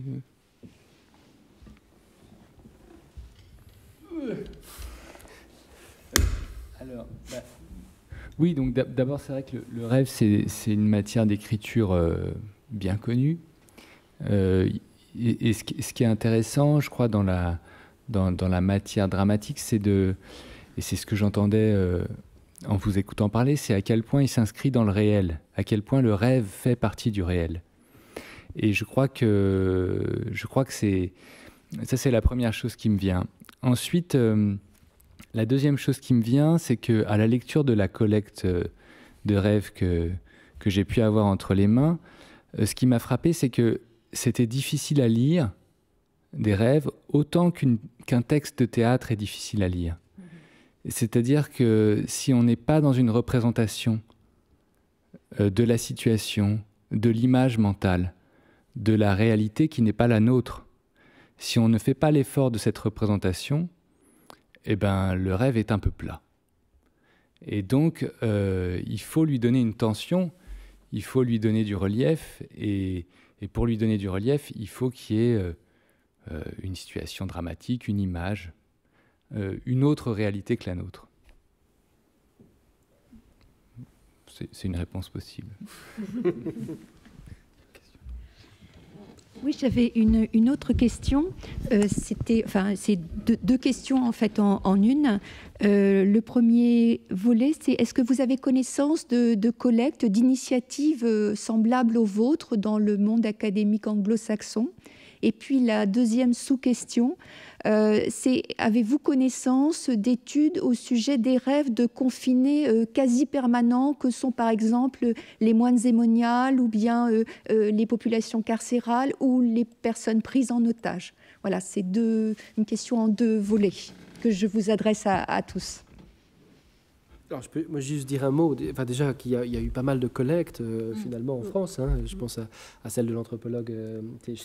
Anne-Françoise La- Lavocat. Ah hein, oui. euh, Anne-Françoise, je ne sais plus si c'est tout à fait son prénom. Anne-Catherine Lavocat, je crois. Euh, et puis de Charles Stepanov, hein, qui, avec deux doctorantes aussi, a lancé une, une- une collecte. Bernard Léa lui-même, dans sa grande enquête, après, je crois, de 700 rêves de, confinement, enfin pendant le confinement, hein, qu'il n'a pas pu encore complètement décrypter. Mais... Et puis, il y a eu cette enquête lancée par le musée de Londres, hein, je crois, avec, euh, euh, tu, tu la connais peut-être mieux que moi, mais qui, euh, voilà, qui, a lancé, c'est vraiment là une institution qui a lancé une grande collecte. Et je pense qu'elle a, déjà eu pas mal de résultats. Il y a eu plusieurs manifestations, plusieurs colloques. On a des débuts de connexion entre nous, hein, mais, on n'est pas encore allé très loin, mais le, contact est, le contact est né. Voilà, il est né. J'espère qu'on en fera euh, autre quelque chose plus tard. Et en tout cas, euh, je, crois qu'on aimerait nous-mêmes continuer de rassembler les, différentes collectes qui ont eu lieu en France déjà. Hein, ce serait pas mal. Je ne sais pas si tu, as d'autres informations. Et moi, j'ai une, connaissance d'une euh, autocollecte des rêves qui avait été faite par des, prisonniers en Italie des Brigades Rouges et qu'ils étaient du coup auto, auto leurs propres rêves. Et c'est sorti avec un numéro de revue qui là, je ne me souviens plus les noms, mais c'était ressorti justement comment cette, les rêves étaient un, espace du coup, pour, les, donc pour les personnes incarcérées qui était un espace de, l'extérieur. Avec Touya, on avait mené une, une, recherche sur les rêves des, jeunes dans une, dans une maison de réclusion, des mineurs, à Marseille toujours. Et là aussi, c'était étonnant parce que la plupart d'eux, ils commençaient à rêver la prison une fois sortis de la prison. Quand ils étaient dans la prison, ils rêvaient la, leur maison. Donc c'était comme là aussi, comme cet décalage entre à la, à la, fois la réalité diurne et à la fois l'espace euh, d'enfermement après. Alors, il y a des collectes de rêves au Brésil aussi. Il y a des analystes brésiliens qui collectent des rêves au Brésil. Sur les Bolsonaro, tu disais euh, Mais pendant le confinement aussi. Donc finalement, on attend avec impatience l'analyse de ces corpus euh, qui ont été constitués et le rapprochement entre ces différentes euh, études, notamment sur le point particulier de se sentir enfermé, être confiné. Oui, il y a encore énormément de travail, hein, comme vous l'avez entendu. On est vraiment au tout début. Euh, et, il faut aussi d'abord aussi euh, confronter nos, Vous avez vu, il y a plein de résonances. Il y a en même temps des, langages, euh, des concepts que nous utilisons différemment, des notions qui nous. Qui, et donc, donc il y a déjà un travail de traduction entre nos disciplines pour parvenir hein, à, s'entendre, à, sortir de nos carcans disciplinaires, mais aussi à, pouvoir écrire ensemble. Ce qui, est, ce, qui est, ce qui est vraiment un travail de transformation de, de, soi, en réalité, hein, qu'on essaie de, de, faire tous les deux déjà, avec d'autres aussi. Hein. donc il y a, y a cela. Mais en même temps, je, je, me permets juste de rebondir, j'ai été très frappé par ce que disait Ariana et Touya tout à l'heure, par... Euh, en histoire, c'est déjà assez rare de, s'intéresser aux rêves et de dire prendre les rêves comme une archive, comme des sources, ça va déjà pas de soi, hein, ce n'est pas un sol très fiable pour l'historien. Hein. Mais qu'est-ce qu'on demande aux rêves quand on est historien? On, demande, on dit avant tout, les rêves sont des révélateurs culturels des sensibilités et des imaginaires d'une époque. C'est déjà beaucoup, c'est-à-dire que c'est des reflets des sensibilités, des imaginaires du temps, de la vie, euh, des mœurs, ça dit déjà quelque chose de ça. Mais les rêves ont aussi une performativité historique, c'est ce que tu, tu disais très bien tout à l'heure, c'est-à-dire qu'ils participent du réel historique, ils le créent On le savait euh, euh, davantage dans d'autres sociétés que les sociétés occidentales. Je, pensais tout à l'heure, tu, parlais de, euh, de ton expérience au Pérou. On a, fait intervenir une anthropologue, Claude Grain, qui travaille sur le monde kanak, autour d'un objet, les planches de rêve dans le monde kanak. Et elle montrait très bien que ces, planches de rêve sont le moyen d'une interlocution avec les aïeux, avec les disparus, avec les ancêtres, hein, et que à travers elles se créait un, dialogue et que les ancêtres prévenaient les vivants des fléaux, des maladies qui allaient arriver, donnaient des pharmacopées, des choses pour et donc participer donc de, la fabrique du réel, hein, voilà, notre lassement du réel et du rêve, donc ce que tu évoquais aussi à l'instant, qui est beaucoup plus fort. Ce que tu dis là, euh, ce que vous disiez en conclusion, c'est que c'est qu'au fond, euh, dans nos sociétés occidentales, quand on tendance généralement à créer une espèce de, là, en fait, ce partage des rêves possibles et, de plus en, et que le confinement a permis, hein, crée du lien social. Mm. Hein, est ce que vous cherchez d'ailleurs à accélérer, hein, à rendre. C'est-à-dire qu'il y a un message d'espoir aussi très fort, je trouve, dans, ce, dans votre discours. Tout d'un coup, cette, ce partage d'intimité autour du rêve permet de recréer un autre type de lien social. Et donc, voilà, la performativité des rêves, euh, la performativité historique des rêves, me paraît être un, un axe de recherche euh, fascinant. Oui, après, à ça, je veux ajouter, parce que justement, euh, c'est la question, c'est le, le, la, question est aussi comment et pourquoi aujourd'hui on se trouve à partager les rêves? C'est bien sûr la, situation euh, évoquée, non qu'on se trouve euh, dans, dans l'espace intime 100%, et du coup, mais il y a aussi, à mon avis, ça peut être un peu, il faut ne pas perdre de, euh, de vue aussi l'effet qu'aujourd'hui, la, la, compulsivité du partage de la situation intime est devenue très forte et très, est, toujours possible. C'est-à-dire, euh, si euh, il y a dix ans, par exemple, si je rêvais quelque chose, je n'avais pas, probablement, probablement pas les réflexes de, taper sur mon téléphone mon rêve à ma mère par WhatsApp et l'envoyer, par exemple, tout simplement. Et alors qu'aujourd'hui, on a aussi, c'est presque devenu, dans certains cas, presque obsessionnel, la chose de pouvoir partager. Et à mon avis, il ne faut pas perdre de vue que partager, par exemple, un rêve depuis sa maison mhm. sur Facebook euh, ou sur euh, un réseau social, c'est vraiment pas la même chose que partager un rêve ici entre nous euh, physique ici avec la possibilité de modifier l'information qu'on donne et, et voilà. Et une autre chose aussi, qu'en euh, ce moment, au-delà du fait du coronavirus, on assiste à des modifications euh, à niveau d'époque euh, dans plusieurs secteurs, dans le secteur de la communication, dans les secteurs, secteurs. Dans les conditions de la nature, on assiste, on, a des, nouvelles entre 2020 et 2021 par rapport les conditions climatiques, par rapport euh, à tellement de facteurs, à, la, au contrôle social et à, il y a plusieurs secteurs euh, de la communication et de la société qui nous échappent en tant qu'individus et qu'on est un peu, on se sent un peu forcé à subir et à comprendre. Voilà, on est perdu sur plusieurs plans, quoi. Et voilà, ça c'était les deux choses que je voulais ajouter. Toulia, on vous pose aussi une question. Quels sont les objets les plus représentés lorsque vous pratiquez, lorsque vous pratiquez l'oniroscope? Est-ce qu'il existe un type d'objet plus fréquent ou bien s'agit-il d'objets très variés? Alors, c'est très varié, mais il y a par exemple la chose d'amener une photo par exemple, pour, pour parler du protagoniste d'un rêve, et c'est très répandu. Mais, par exemple, à l'école, euh, souvent, au lycée, au collège, les personnes nous amenaient leur téléphone parce que dans le téléphone, sur, euh, je sais pas, sur Google, euh, comme ça, elles pouvaient chercher la photo, par exemple, soit de Chucky, soit d'un de, accident de, de route, pour parler de l'accident et tout ça. Et du coup, à bout d'un moment, j'ai dû préciser, si vous m'amenez la photo dans son téléphone, l'objet que vous m'amenez, c'est le téléphone. Mhm. C'est-à-dire, moi, je dois après euh, taper sur votre téléphone et ça, ça crée toute une autre image. Donc, amenez l'objet. Et si vous savez pas, euh, si vous avez rêvé un accident de route, non, vous ne devez pas m'amener la voiture de, du père. Vous devez faire un exercice d'imagination et, de peut-être trouver un autre lien. Euh, mais le téléphone, oui, entre les gens surtout, c'était un, un, objet amené souvent. Euh, après, qu'est-ce qu'il y avait?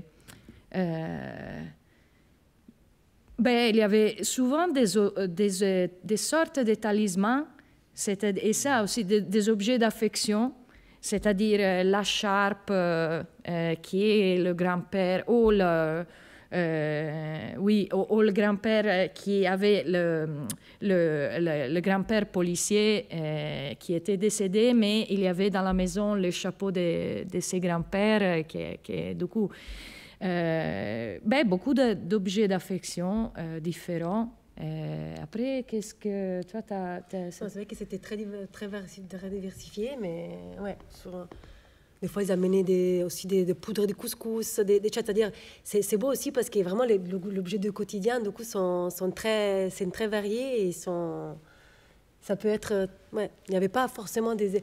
Après, c'est ça, objet qui s'après rappelé à la mémoire, dire Ah, moi aussi j'ai rêvé ça. Donc il y a des objets qui, en effet, circulent beaucoup dans, l'imaginaire euh, collectif. Oui, et aussi, ça, ça crée aussi toujours les moments, on la personne parlait du rêve et tout, et il y avait toujours quelqu'un qui disait Oui, mais du coup, après, pourquoi tu as amené un stylo?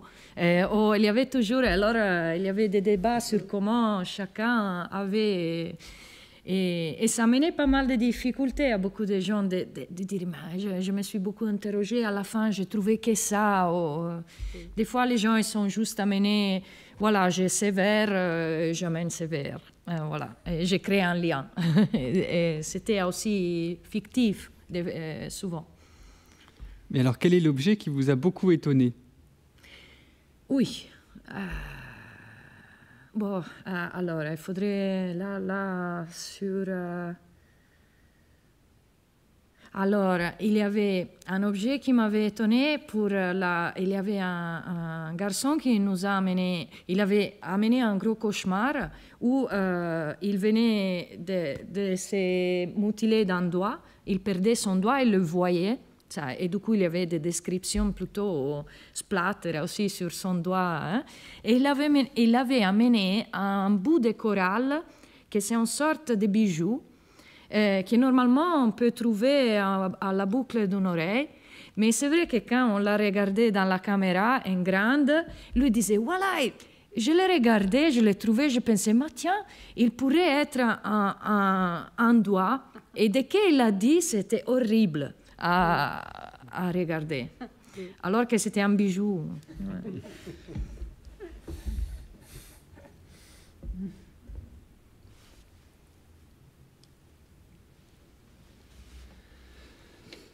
Voilà, ben je vous remercie euh, d'avoir euh, participé à cet après-midi qui était euh, à la fois agréable, poétique, intellectuellement riche.